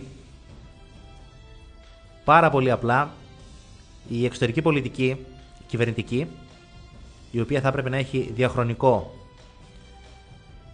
Και κάθε το ρόλο σε ό,τι έχει να κάνει και με το εσωτερικό, δεν πήρε θέση, με αποτέλεσμα τα εγχώρια ΜΜΕ να παίξουν άλλο ρόλο, να μην υπάρχει σαφής γραμμή. Και όπως είπα ισχυρά διαπραγματευτικά εργαλεία τα οποία έπρεπε να παίζουν στο εσωτερικό, τα οποία έπρεπε να είναι γνωστά στο εσωτερικό, τα οποία θα έπρεπε πάρα πολύ απλά να είναι σαφή, να είναι κατανοητά και αν θέλετε να γίνονται μηνύματα από στόμα σε στόμα και μιλάω για το εσωτερικό της χώρας να το λέμε μεταξύ μας και όποτε φεύγουν προς τα έξω να το λέμε και προς τα έξω θαύτηκαν. Και μιλώ ξεκάθαρα. Μιλώ για το βίντεο το οποίο ξαφνικά τους τελευταίους μήνες έχουμε ανακαλύψει όλοι στο YouTube. Όλοι το πλασάρουμε, ενώ για πάρα πολλά χρόνια και από μεριάς μέσω μαζικής ενημέρωσης είχε θαυτεί, είχε ξεχαστεί και όποιος το έπαιζε και όποιος αναφερόταν σε αυτό και το βίντεο και τη δήλωση ήταν από εθνοκάπηλος μέχρι ακροδεξιός. Δεν μπαίνω καμία απολύτως θέση στο τι πιστεύει ο καθένας. Και μιλώ για το βίντεο με τη δήλωση του πρώην Πρόεδρου Σκοπίων, Γλιγόροφ.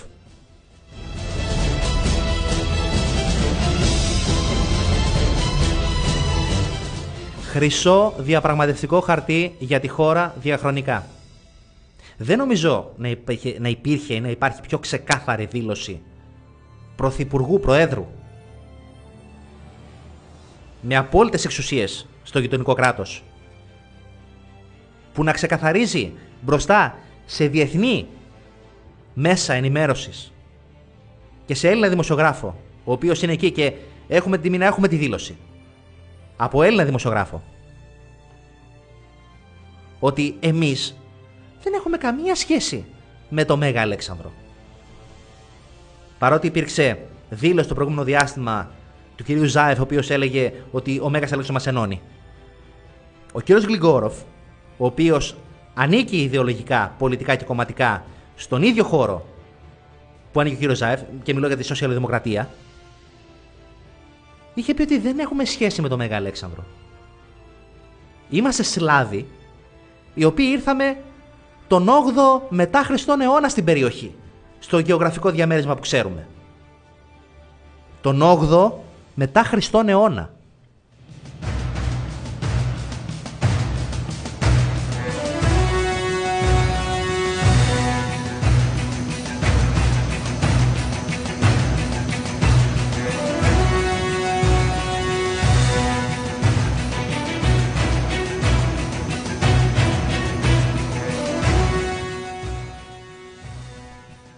Ξέρετε τι μεσολάβησε από τότε που στα βάθη της Ασίας δολοφονήθηκε και πέθανε ο Μέγας Αλέξανδρος μέχρι τον 8ο αιώνα μετά Χριστόν. Φαντάζεστε το χρονικό και προαιώνιο χάος που υπάρχει; Τις ρόδες ιστορίας που έχουν γυρίσει αμέτρητες φορές στην περιοχή; Και θα σας πω και κάτι τώρα το οποίο άκουσα χθες που είπε μια εγκεκριμένη και θαυμάσια επιστήμον, βυζαντινολόγος, η κυρία Χατζερβελέρ, σε ομιλία της σε μορφωτικό ίδρυμα στην Αθήνα. Μία στοιχομηθεία γύρω από εκείνη, μεταξύ εκείνης και του γέρου Κωνσταντίνου Καραμαλή, του γέρου Εθνάρχη, για το θέμα της Μακεδονίας. Θέλετε να ακούσετε τι είπε, θα σας πω.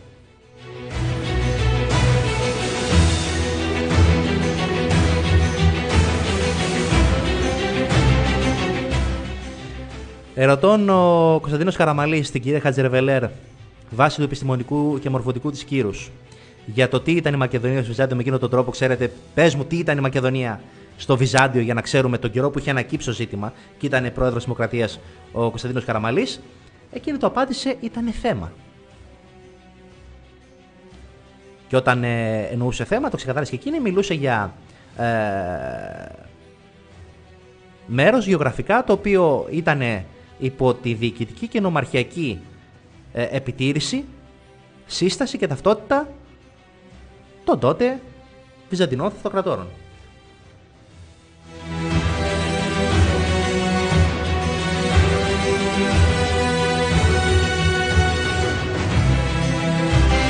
Αναμένονται να έρχονται σήμερα πάνω από 500 λεωφορεία από όλη την Ελλάδα. Κόσμος, ο κόσμος βρίσκεται εδώ πέρα και αψηφά το κρύο, διότι μπορούμε να πούμε η θερμοκρασία έχει πέσει αρκετά αυτή τη στιγμή. Ε, ακόμη να σημειώσουμε πως έχουν κλείσει περισσότεροι δρόμοι γύρω από την περιοχή, ε, η Τσιμισκή, η Βασιλής της Όλγας, η Εγνατία και φυσικά απαγορεύεται η στάθμευση. Ε, θα συνεδούμε σε λίγο για να μας μιλήσει και ο κόσμος για το σημερινό συγχαρητήριο.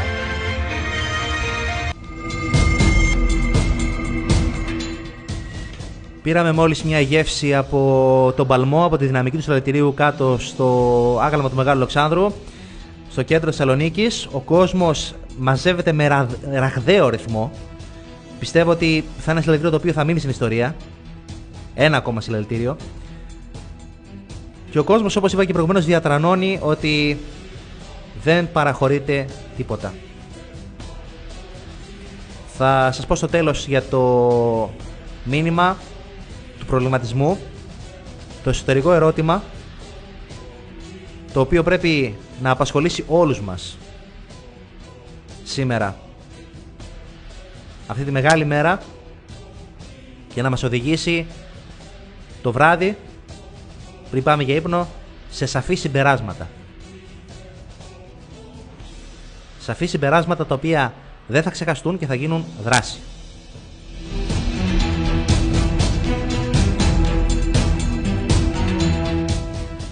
Προηγουμένως ε, στη στοιχομηθεία μεταξύ της κυρίας Χατζερβελέλ και του Κωνσταντίνου Καραμαλή, σας είπα ότι εκείνο το απάντησε ότι ε, η Μακεδονία ήταν τότε επί Βυζαντίου ένα θέμα. Και εκείνος είπε: Καλά, με δουλεύεις. Θέμα είναι τώρα.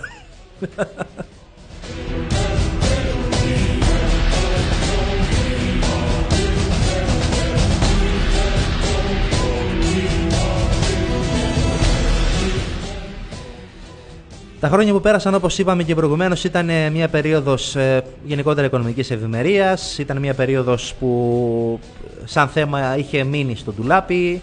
Δεν το κουμπούσε κανείς. Ε, Εμείς αγνοούσαμε το τι γίνεται στην απέναντι χώρα, τα γάλματα που στείνονται, τα δελτία τύπου που βγαίνουν, ε, τις προεκλογικές εξαγγελίες των εκάστοτε κυβερνήσεων των Σκοπίων. Δεν στεκόμασταν και πάρα πολύ σε αυτό.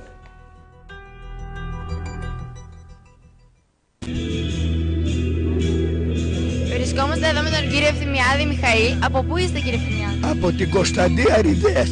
Από την Κωνσταντία Ριδές. Τι μήνυμα θέλουμε να περάσουμε σήμερα; Ότι η Μακεδονία είναι μία, είναι ελληνική και δεν πρόκειται να την πάρει κανένας. Πάνω από το πτώμα μας θα πέρασουν να την πάρουν. Τελείως. Θα πεθάνουμε γι' αυτό. Δεν μπορούμε. Ευχαριστούμε πάρα πολύ.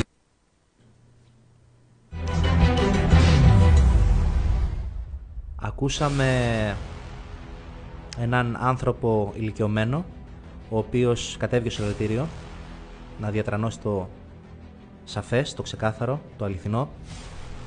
Έναν άνθρωπο που από ό,τι μπόρεσα και εγώ να δω από την οθόνη του υπολογιστή, αναφερόμενος στο όνομα της Μακεδονίας, στην ιστορία της και τον αγώνα για την υπεράσπιση της, πρέπει να δάκρυσε.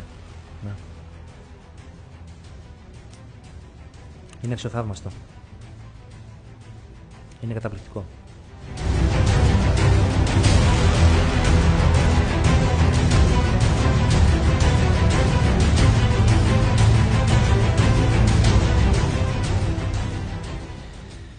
Είναι ίσως ε, από τους χαρακτήρες, τις στιγμές και τους ανθρώπους που έχουν εμπνεύσει μεγάλους στοχαστές του έθνους μας, ποιητές, συγγραφείς, να γράψουν μεγάλα έργα και για τη Μακεδονία μας και για τον πολιτισμό της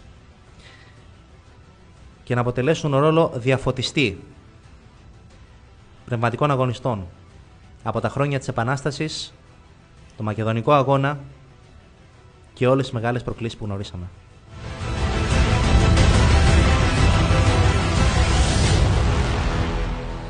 Σας έλεγα προηγουμένως ε, για το πόσα πράγματα από όσα γίνονται και τα πόσα βιώνουμε ε, τα προηγούμενα χρόνια της οικονομικής ευημερίας και της λεγόμενης ε, φούσκας που ζούσαμε ε, και τα είχαμε ξεχάσει λίγο και τα είχαμε αφήσει ε, και λέγαμε εντάξει μωρέ σιγά τώρα ποιος ασχολείται μαζί τους και άστους. Ε, γίνονταν πράγματα γύρω μας και εμείς ε, τα γνωρούσαμε. Δεν θέλαμε να τα δούμε, δεν ξέρω τι. Ευθύνη φυσικά και των κυβερνήσεων και των ε, μέσων μαζικής ενημέρωσης για τα όσα προηγήθησαν τα χρόνια αυτά, για το πώς το πρόβλημα γιγαντώθηκε και για το πώς πιαστήκαμε κάπως για άλλη μια φορά εξαπίνης. Πόσα πράγματα λοιπόν τα ακούγαμε ως κακές προφητείες τα χρόνια της οικονομικής ευμάρειας, πόσα πράγματα λέγαμε ότι δεν θα τα βρούμε μπροστά μας, πόσα πράγματα λέγαμε ότι είναι αδιαπραγμάτευτα για μας, Πόσα πράγματα λέγαμε ότι την κλασική τα ξέρετε εκείνο ότι έλα μωρέ, άμα γίνει αυτό θα γίνει χαμός, σιγά με το περάσουμε, σιγά με το δεχτούμε, σιγά σιγά σιγά. Και δεν αναφέρομαι μόνο στα χρόνια της οικονομικής κρίσης που έφερε πάρα πολλές απώλειες, που χάθηκαν πάρα πολλά πράγματα και συνεχίζουν να χάνονται. Πρέπει να μας προβληματίσει το ότι δεχτήκαμε πάρα πολλά, όπως πρέπει να προβληματίσει και τους ηθήνοντες και τους διαχειριζόντες της ιστορίας αυτής ότι σε αυτό το θέμα δεν μπορούμε να δεχτούμε καμία παραχώρηση.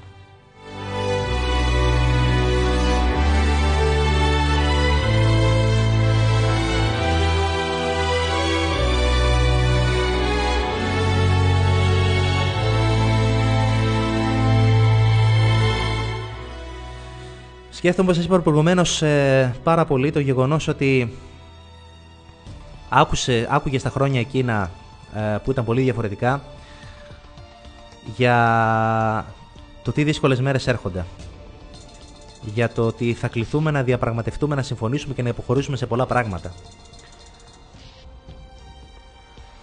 Πρέπει να έχεις το θάρρος να τρέξεις πίσω και να θυμηθείς και για τον εαυτό σου και για το σύνολο που ανήκεις ότι πάρα πολύ απλά και εσύ απέναντι σε εκείνους τους λόγους που άκουγες από τους κατά τα άλλα ονομαζόμενους συνωμοσιολόγους, φαντασιόπληκτους, λάτρες ιστοριών μεγάλης συνωμοσίας,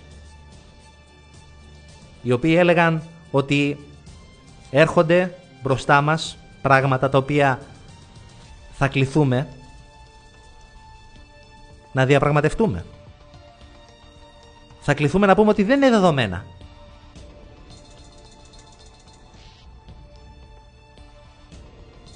Ότι δεν πρέπει να κάνουμε ούτε βήμα πίσω από τώρα. Για να μην είμαστε ευάλωτοι αργότερα. Όλοι αυτοί χαρακτηρίστηκαν γραφικοί, χαρακτηρίστηκαν ε, ακραίοι, Ξέρετε, δεν θα μπω καθόλου στη διαδικασία να κρίνω ποια ήταν η ταυτότητα του καθενός.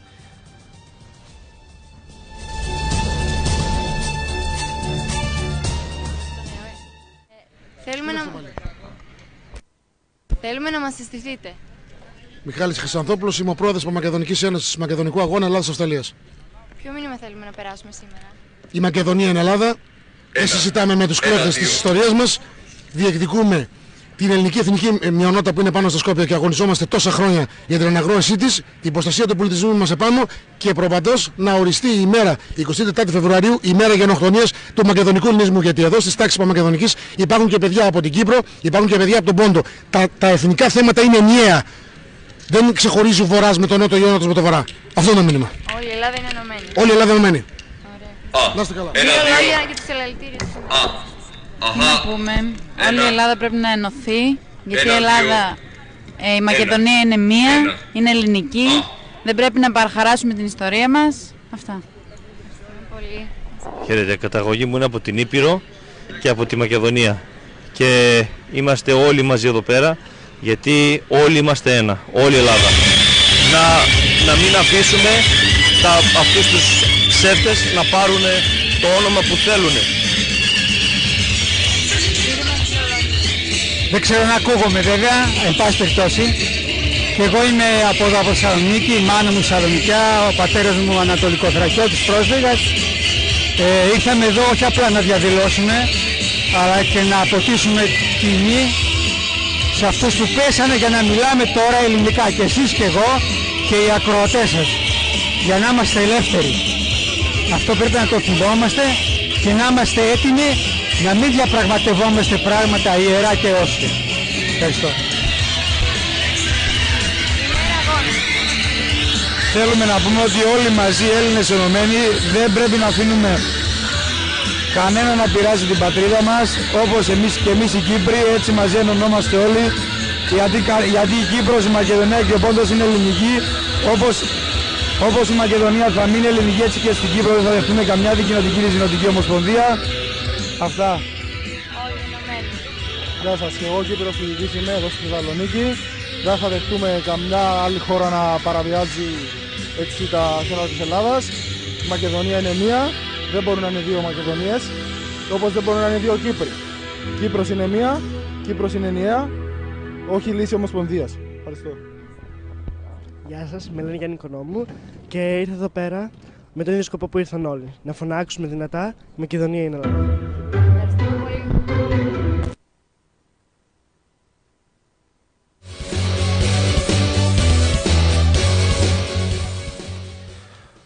πόσο πιο σαφής, πόσο κρυστάλλινος, πόσο αληθινός και πόσο συγκινητικός ο λόγος και του Προέδρου της Παρμακεδονικής Ομοσπονδίας Συλλόγων Αυστραλίας και αυτών των παιδιών από όλα τα μήκη και τα πλάτη του ελληνισμού, από την Κύπρο, τους ακούσατε τώρα που μιλήσανε μόλις. Κύπροι φοιτητές, Έλληνες. Με καταγωγή από την Κύπρο.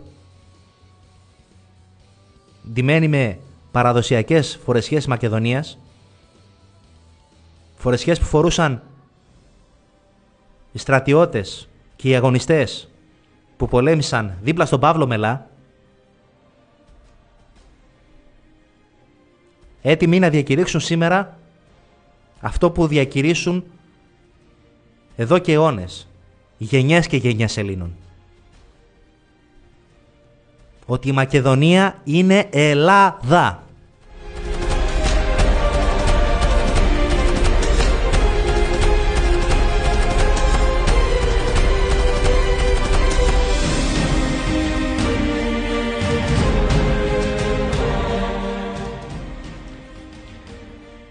Για πείτε μου, αυτά τα παιδιά, μέσα από την αγνότητα της ψυχής τους, μέσα από το αξιοθαύμαστο φρόνημά τους, δεν πρέπει να αποτελούν παράδειγμα για όλους μας. Δεν πρέπει αυτά να είναι τα πρότυπά μας. Δεν πρέπει να σκεφτόμαστε όπως αυτοί.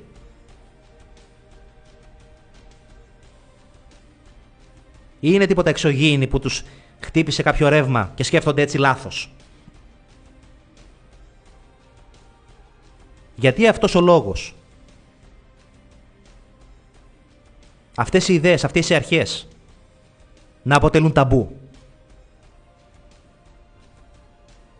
Μην μπερδεύουμε τα πράγματα. Είναι πολύ πιο καθαρά, πολύ πιο σαφή και πολύ πιο δυνατά από εμάς. Όσο και αν θέλουν κάποιοι να τις στρεβλώσουν.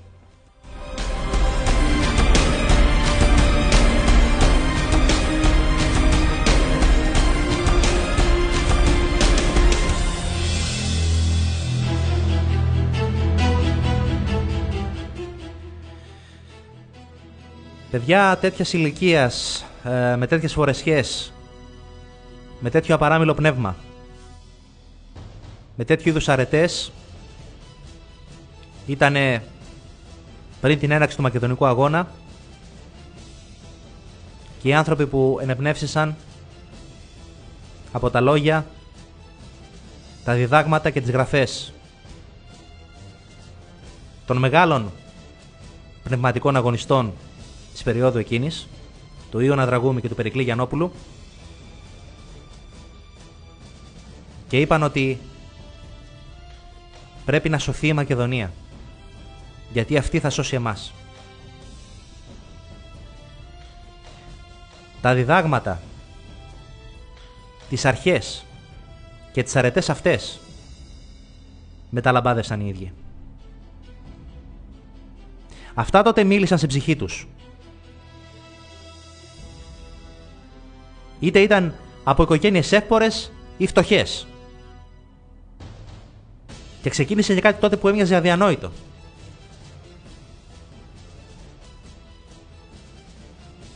Και το πέτυχαν. Πολύ απλά γιατί ήξεραν που πάνε, τι πιστεύουν, ποια είναι η καταγωγή τους και που έχουν καθήκον να πάνε.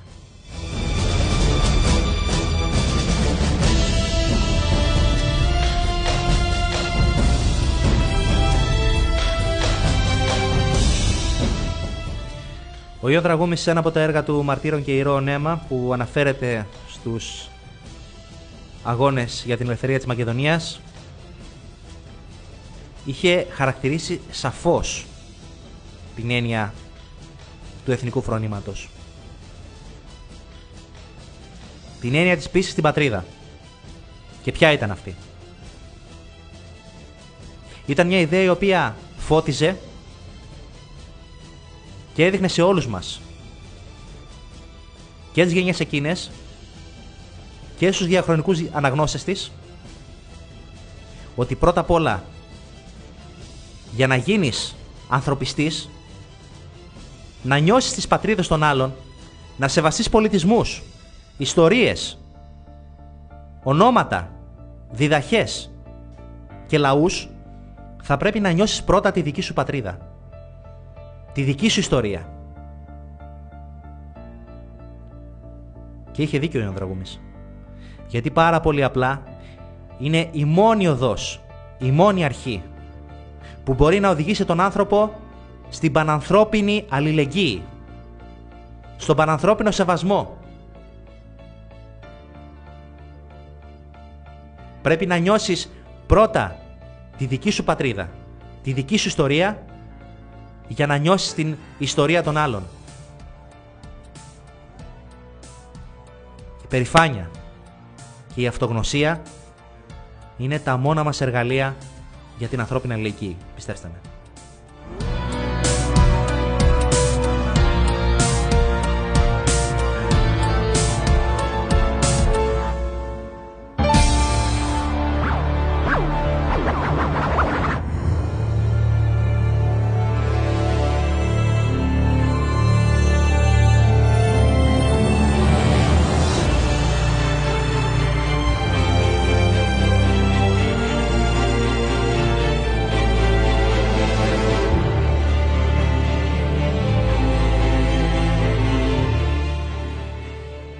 Σε ό,τι έχει να κάνει με οποιοδήποτε αντίλογο σε σχέση ε, με την ε, αντίπερα πλευρά η οποία δείχνει στην διεθνή κοινότητα και στην Ευρώπη ότι είναι αποφασισμένη να αλλάξει, ε, δείχνει πνεύμα ευγένειας, δείχνει πνεύμα διαλλακτικότητας.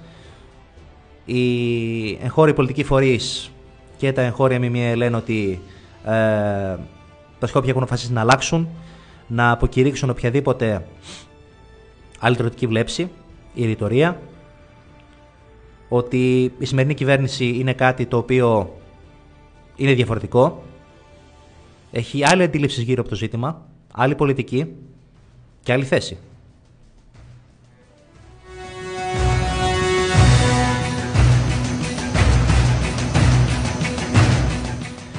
Εδώ εντάσσεται ακριβώς αυτό που σας είπα και πιο προηγουμένως, ότι μέσα στα ντοκιμαντέρ τα οποία είχαν ετοιμαστεί από τον περασμένο Οκτώβριο και παρουσιάστηκαν σε διάφορα κανάλια στην Ελλάδα, ε, που δείχνανε αγάλματα να κατεβαίνουν, δείχνανε δηλώσεις έτσι αποκήρυξης οποιοδήποτε λιτρωτισμού, ότι τα πράγματα πάνε πολύ καλύτερα στην άλλη πλευρά, ότι είναι ευκαιρία να τα βρούμε Επιστρατεύτηκε όμως και το εξής αντεπιχείρημα. Από κορυφαίους Έλληνες διπλωμάτες, από διεθνολόγους, από γνώστες της δικής μας εσωτερικής πολιτικής, από γνώστες της διεθνούς κατάστασης.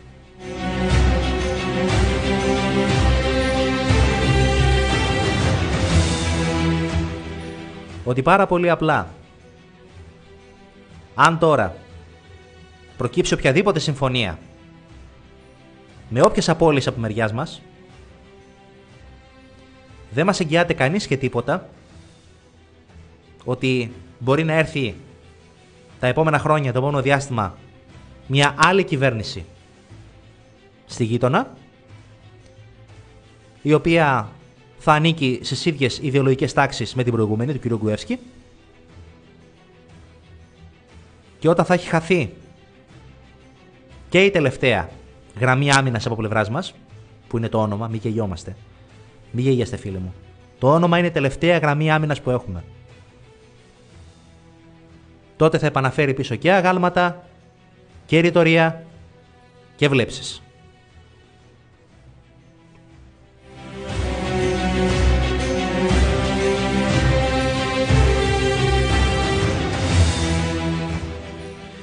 Βέβαια, τότε ίσως ε, ορισμένοι ελπίζουν ότι θα υπάρξει ε, κάποια παρέμβαση της Ευρωπαϊκής Ένωσης στην οποία θα ανήκουν τα Σκόπια, ε, η Ευρώπη θα αντιμετωπίσει μαζικά το ζήτημα και έχουμε εγώ και ρωτάω, η Ευρώπη το αντιμετώπισε μαζικά το ζήτημα ή υπέρ μας ή ε, σκεπτόμενοι το ισομερές δίκαιο τον καιρό που τα Σκόπια δεν ήταν και δεν είναι στην Ευρωπαϊκή Ένωση; Όχι. Γι' αυτό λοιπόν είναι ξεκάθαρο ότι η τελευταία γραμμή άμυνας πρέπει να μείνει. Έχω Ήμουνα, ήμουνα αθλητής του Ηρακλή, δρομέας, μαραθωνοδρόμος. Και τώρα θέλω να πω για, για τους πολιτικούς όλους αυτούς, τα πράγματα είναι τόσο απλά να πάρουν τα ευρήματα του, του της Βεργίνας και να πάνε να τα δείξουν τι γράμματα έχει. Ελληνικά έχουνε ή σλάβικα. Αυτό είναι ένα απλό πράγμα. Να πάνε να δείξουν για αυτούς τους Αμερικάνους και τους Ρώσους και όλους τους άλλους να μου. Καταλάβατε. Τι πράγματα είναι αυτά. Να μας βγάλουν δηλαδή από το σπίτι μας και να, να μας φέρουν τους άγριους. Εμπιστοσύνη στους πολιτικούς, άρα καμία. Ορίστε. Εμπιστοσύνη στους πολιτικούς, καμία. Φέρμα, αυτοί μας φέραν αυτό το χάλι. Αυτοί μας φέραν το χάλι αυτό. Εγώ το πέρα.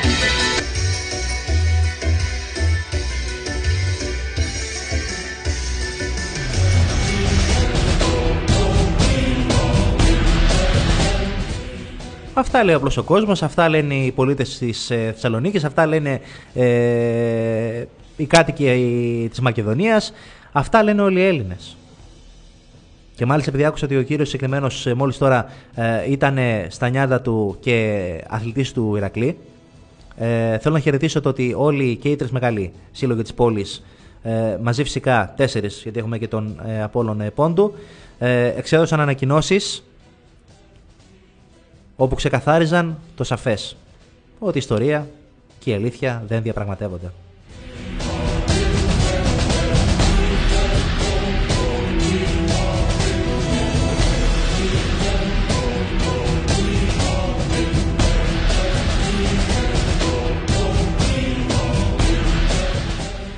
Όπως είπα και στην εισαγωγή μου, θα πρέπει να μας προβληματίσει πάρα πολύ η σημερινή μεγάλη μέρα, ε, η εξέλιξη του συλλαλητηρίου, τα συμπεράσματα τα οποία θα βγουν, ώστε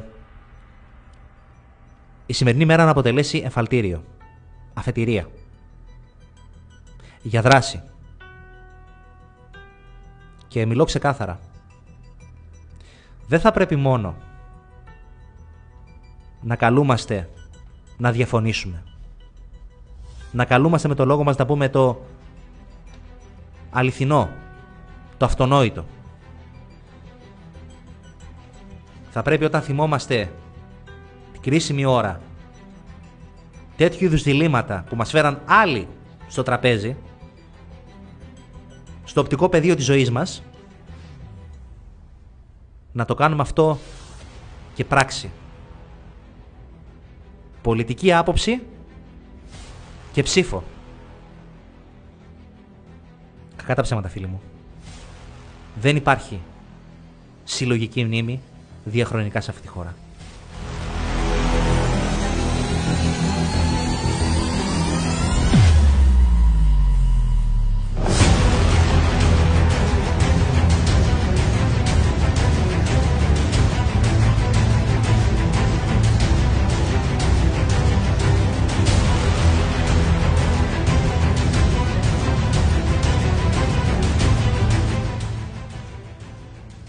Πρέπει να κάνουμε και την αυτοκριτική μας.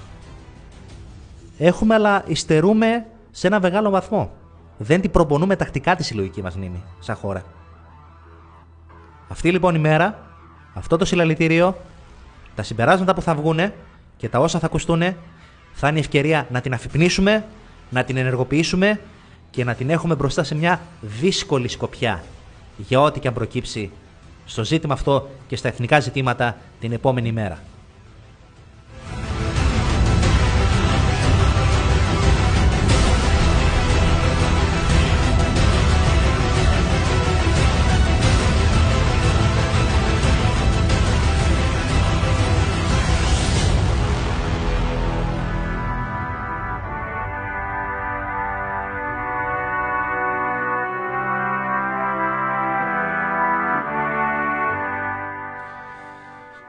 Είναι πάρα πολύ σημαντικό ε, να ακούς παρεμβάσεις εκ μέρους του καλλιτεχνικού κόσμου και εκ μέρους πολλών Ελλήνων δημιουργών γύρω από τόσο, ένα τόσο σοβαρό ζήτημα όπως είναι η Μακεδονία. Ε, οι οποίες απόψεις, εντάξει ας μην γελιόμαστε, είναι μετρημένες στα δάκτυλα. Ε, στα δάκτυλα του ενός χεριού κιόλας. Και γι' αυτό ίσως αποτελούν ε, σημαντικότητα και ιδιαίτερες πολύτιμες σκέψεις για εμάς, επειδή είναι πάρα πολύ λίγες.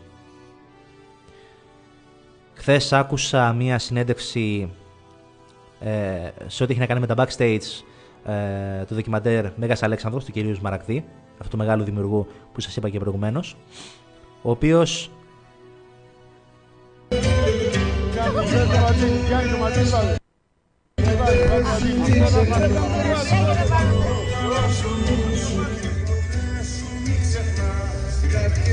σαν τη ζωή τους στη δική σου να γλεντάς.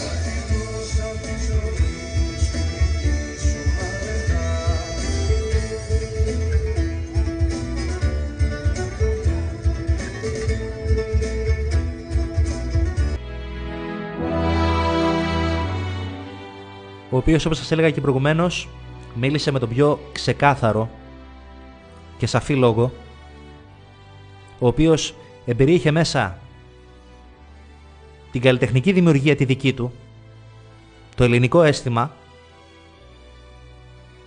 ότι Έλληνας είναι αυτός ο οποίος νιώθει γιος του Αλεξάνδρου και εγγονός του Ηρακλή.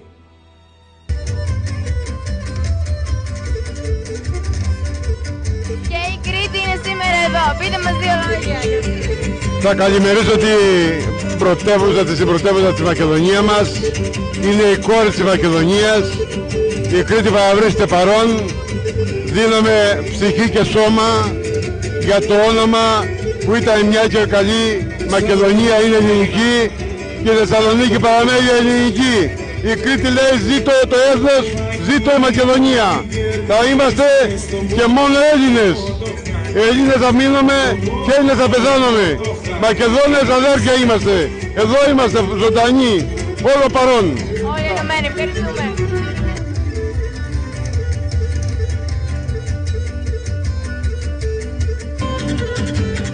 Ένα φτάνει. Ένα φτάνει. Πάτερ, πείτε μας. Η Μακεδονία είναι Ελλάδα.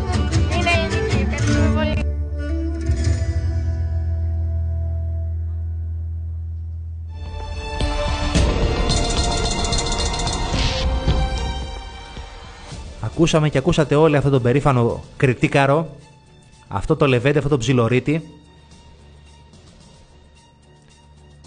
που ίσως είναι από τους από τους λίγους. Η Μακεδονία είναι μία είναι, δεν υπάρχει άλλη. Από πού είστε; Από τη Θεσσαλονίκη. από Εδώ, από εδώ. Ναι. Ποιο μήνυμα θέλουμε να περάσουμε σήμερα; Ότι μία είναι η Μακεδονία, δεν υπάρχει άλλη. Είναι ελληνική. Είναι και ελληνική αυτό. Δεν διαπραγματευόμαστε το. Δεν δάκρυσα, δεν μπορώ. Μακεδόνισσες και Μακεδόνες, σήμερα όλοι εμείς Είναι από τους λίγους που μπορούν να νιώσουν πραγματικά. Τι είπα να πεις σκλαβωμένο κομμάτι, αλήτρωτο και υποδουλωμένο. Σας θυμίζω ότι μετά την Επανάσταση δεν είχε λυτρωθεί ούτε Μακεδονία ούτε Κρήτη. από τη μοναδική πύλη της πατρίδας μας, τη μαρτυρική των αγώνων Ιερισσό, όπου ο ελληνισμός του Αριστοτέλη παραδείχνει τις σκητάλες στην Ορθοδοξία της Παναγίας μας, στο Άγιον Όρος, στέλνω ξεκάθαρα και πρωτορά το μήνυμα. Με την ψυχή και μια πνοή όλοι μαζί από παντού για την μοναδική, την αδιέρετη, την ελληνική Μακεδονία μας. Ζήτω το έθνος, ζήτω η Ορθοδοξία, ζήτω και η Μακεδονία μας. Είμαι ο Γιώργος Πασχαλίδης, καθηγητής και πρόεδρος του Ιερισσού.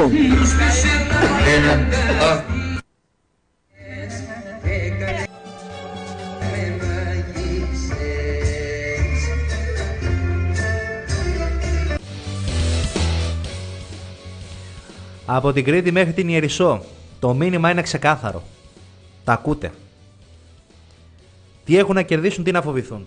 Υπηρετήσαμε 26 μήνες για τον Μέγα Αλέξανδρο τον οποίον όχι πολέμους, όχι πόλεμο, αγάπη, θέλαμε ειρήνη για να μπορούμε, για να γυρίσουμε στα μέρη μας με 50 δισεκατομμύρια λαός οι οποίοι παρεβάλαμε φέκια από την αγάπη του Μεγάλου Αλεξάνδρου και δεν σκοτώθηκε κανείς. Υποδοχαγός στρατοτικός του στρατού του πεζικού σας αγαπάω πολύ. Η μεγάλη μας αγάπη θέλουμε. Όλοι μας έχουμε μία καρδιά καρδιά, καρδιά, καρδιά ανθρώπινη. Αυτός ήταν ήρωας ήταν άντρας φορούσε παντελόνια. Εμείς όμως δεν θα προδοθούμε εύκολα από τον ελληνικό στρατό. Δεν το βάζουμε κάτω. Δεν το βάζουμε στα ελληνικά μας βράδυ δεν θα είμαστε αυτοί να προδοθούμε το άξιο και τίμημα στρατιωτικό μπερέ δεν, δεν το φοράμε αυτή τη στολή. Η στολή είναι τίμια. Η αγάπη για όλους σας και τη γιορτή του Μεγάλου Αλεξάνδρου. Δύναμη, ένταση, όλοι μαζί, όλοι μαζί, σας αγαπώ. Ο Παύλος Ομελάς και μαζί του χιλιάδες στο Αγανακτισμένος ο κόσμος, αλλά την ιστορία δεν την ξεπουλάμε. Δεν προδίδουμε, δεν προδινόμαστε, δεν προδινόμαστε, δεν θα προδοθούμε. Ο αγώνας μένει. Ευχαριστούμε πολύ.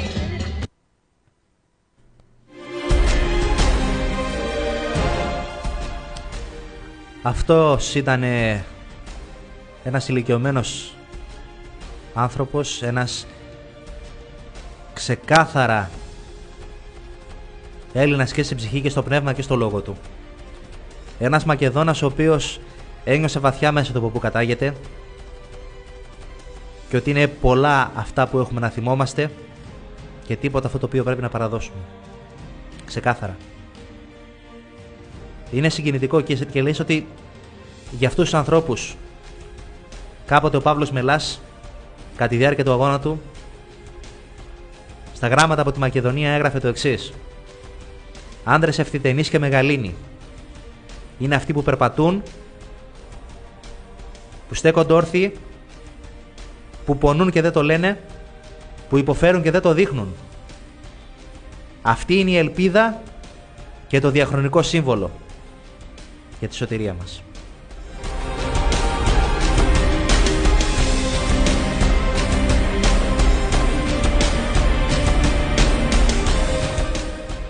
Φτάνουμε σιγά σιγά στο τέλος της, δική μου, της δικής μου ώρας. Θα μείνετε εδώ θα μείνετε σε συχνότητα του ΕΟΕ. Δεν έχει τελειώσει τίποτα. Τώρα αρχίζουν όλα. Αρχίζει ένας μεγάλος, όπως είπαμε, ραδιοφωνικός μαραθώνιος. Ένας μεγάλος αγώνας. Ένα μήνυμα το οποίο πρέπει να σταλεί και θα σταλεί να είστε σίγουροι. Με αποφασιστικότητα και κυρίως με πνεύμα αλήθειας.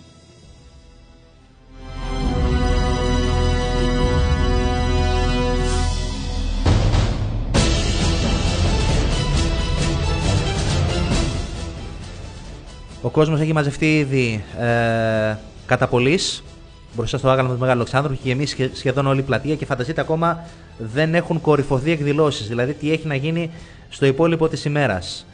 Και είναι πραγματικά ε, συγκινητικό και σπάνιο συναισθηματικά να βλέπεις τόσο κόσμο κάτω από το άγαλμα του Μεγάλου Αλεξάνδρου και να στείλω και ένα μήνυμα πάνω σε αυτό ότι δεν είναι μόνο να ατενίσουμε το άγαλμα. Δεν είναι μόνο να είμαστε γνώστες και μεταλαμπαδευτές της ιστορίας. Θα πρέπει να μας εμπνέει ο Μέγας Αλέξανδρος.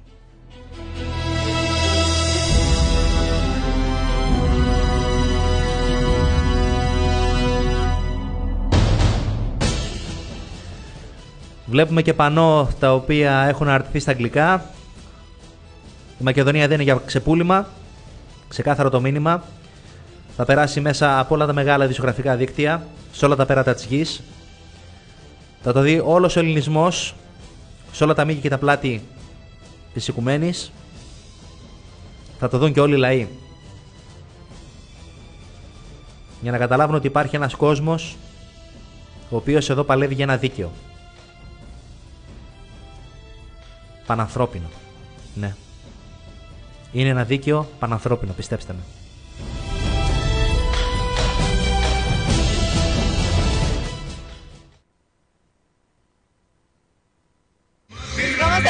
Κυρία Χαρούλα, Θεσσαλονίκια. Θέλει όμως να μεταφέρει ένα μήνυμα. Η Θεσσαλονίκη μας. Η, η Μακεδονία είναι μία και είναι ελληνική. Τίποτε άλλο. Μία και ελληνική. Όχι, όχι. Λάβει ποτέ.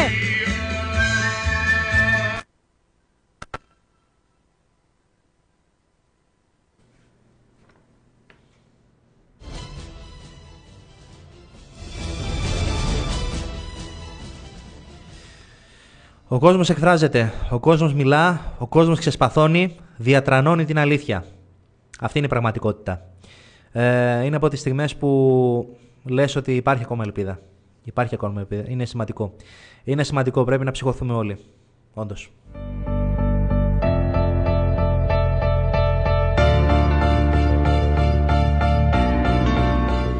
Ο προβληματισμό όμως που σας εξέφρασα προηγουμένως είναι ακόμα εδώ και υπάρχει. Κατ' εμέ πρέπει να συνεχίσει να υπάρχει και πρέπει να μας απασχολήσει μέσα στην ημέρα, ασχέτως των μηνυμάτων και ε, των όσων θα ακουστούν και θα φωλιάσουν στην ψυχή κάθε Έλληνα όπου και αν ανήκει. Το μήνυμα είναι ότι πρέπει όλοι μας να μην σταθούμε μόνο σε ένα συλλαλητήριο σήμερα και σε μια διαμαρτυρία. Που είναι σημαντικά, Κανείς δεν αφιβάλλει, κανείς δεν αντιλέγει. Ξέρετε, το χειρότερο έγκλημα που μπορεί να κάνει κανείς είναι ο αγώνας του να διαδεχθεί τη στιγμή και αμήλικτη καθημερινότητά του.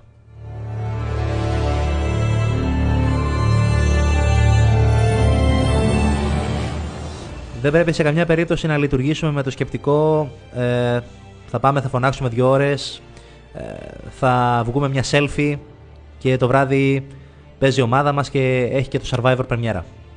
Με τίποτα.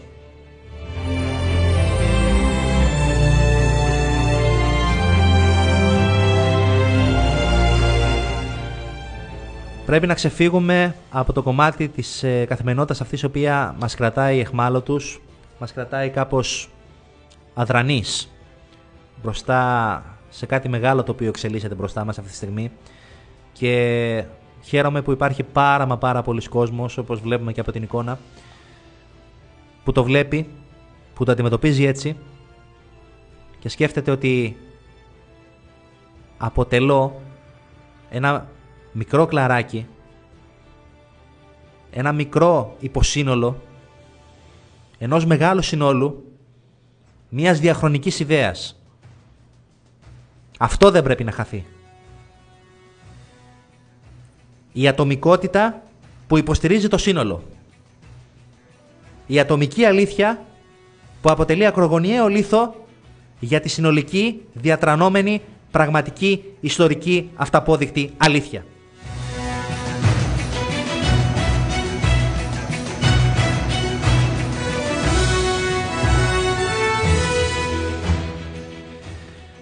Ε, γεννηθήκαμε να αντιμετωπίζουμε προκλήσεις. Αυτό είναι αλήθεια.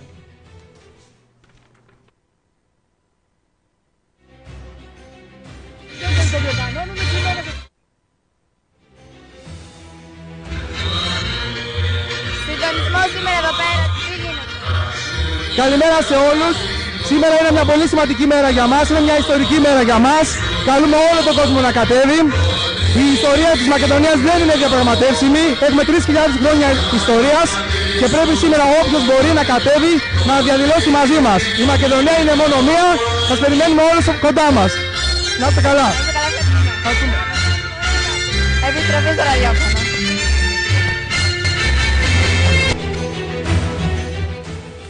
3.000 χρόνια ιστορίας. Είναι από τις φορές που οι αριθμοί παίζουν ρόλο.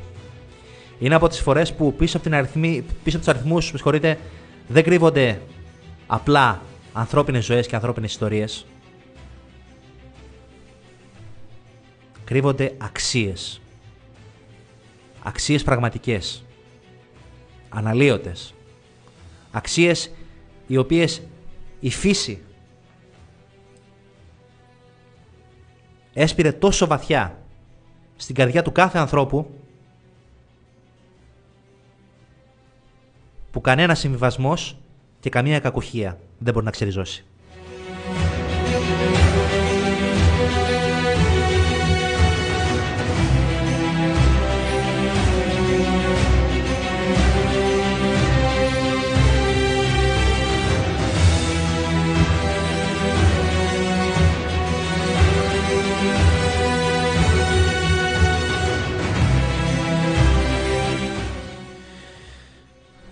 Κάπου εδώ ε, σιγά σιγά, μην βιάζεστε. Θα φτάσουμε σιγά σιγά στο τέλος αυτής της, του πρώτου δίωρου μέσα από τον αέρα του ΕΟΕ. Κορυφώνονται εκδηλώσεις σήμερα. Κορυφώνονται. Και η πραγματικότητα είναι ότι δεν μπορεί κανείς να σου αφαιρέσει κάτι αν δεν το επιτρέψεις εσύ. Πρέπει κάποια στιγμή όλοι μας να καταλάβουμε ότι δεν αρκεί μόνο να κρατάς μια ταυτότητα. Μια ταυτότητα που αν θέλετε συγκρίνεται καμιά φορά με ένα έγγραφο μέσα σε ένα πορτοφόλι. Να καταλάβουμε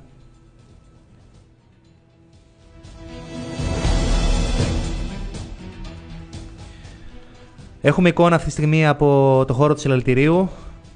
Πάρα πολλοί κόσμος οι εκδηλώσεις θα αρχίσουν με τον πιο επίσημο τρόπο τώρα. Θα έχουμε πάρα πολλές ομιλίες στη συνέχεια.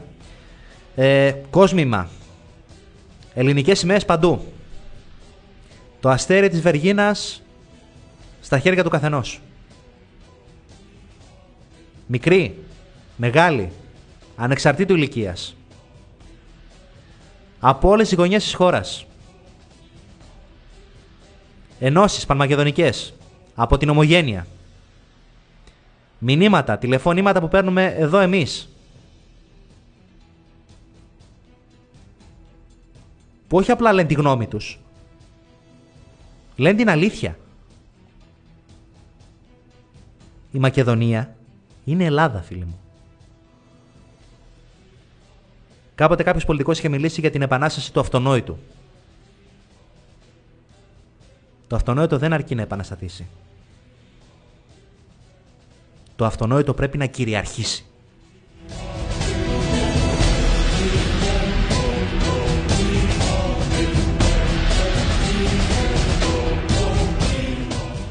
Με αυτές τις ε, λίγες ή πολλές σκέψεις εγώ θα σας αποχαιρετήσω. Θα δώσω τη σκητάλη στα παιδιά και στους ανθρώπους του ραδιοφώνου που θα σας μεταδώσουν την ε, εικόνα και την κίνηση γύρω από το συλλαλητήριο, στο κέντρο της πόλης. Συνεχίζουμε να δίνουμε το παρόν. Συνεχίζουμε να πιστεύουμε.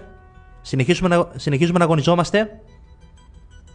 Και συνεχίζουμε να αρνούμαστε κάθε συμβιβασμό και κάθε παραχώρηση που προσβάλλει τα δικά μας όσια και ιερά.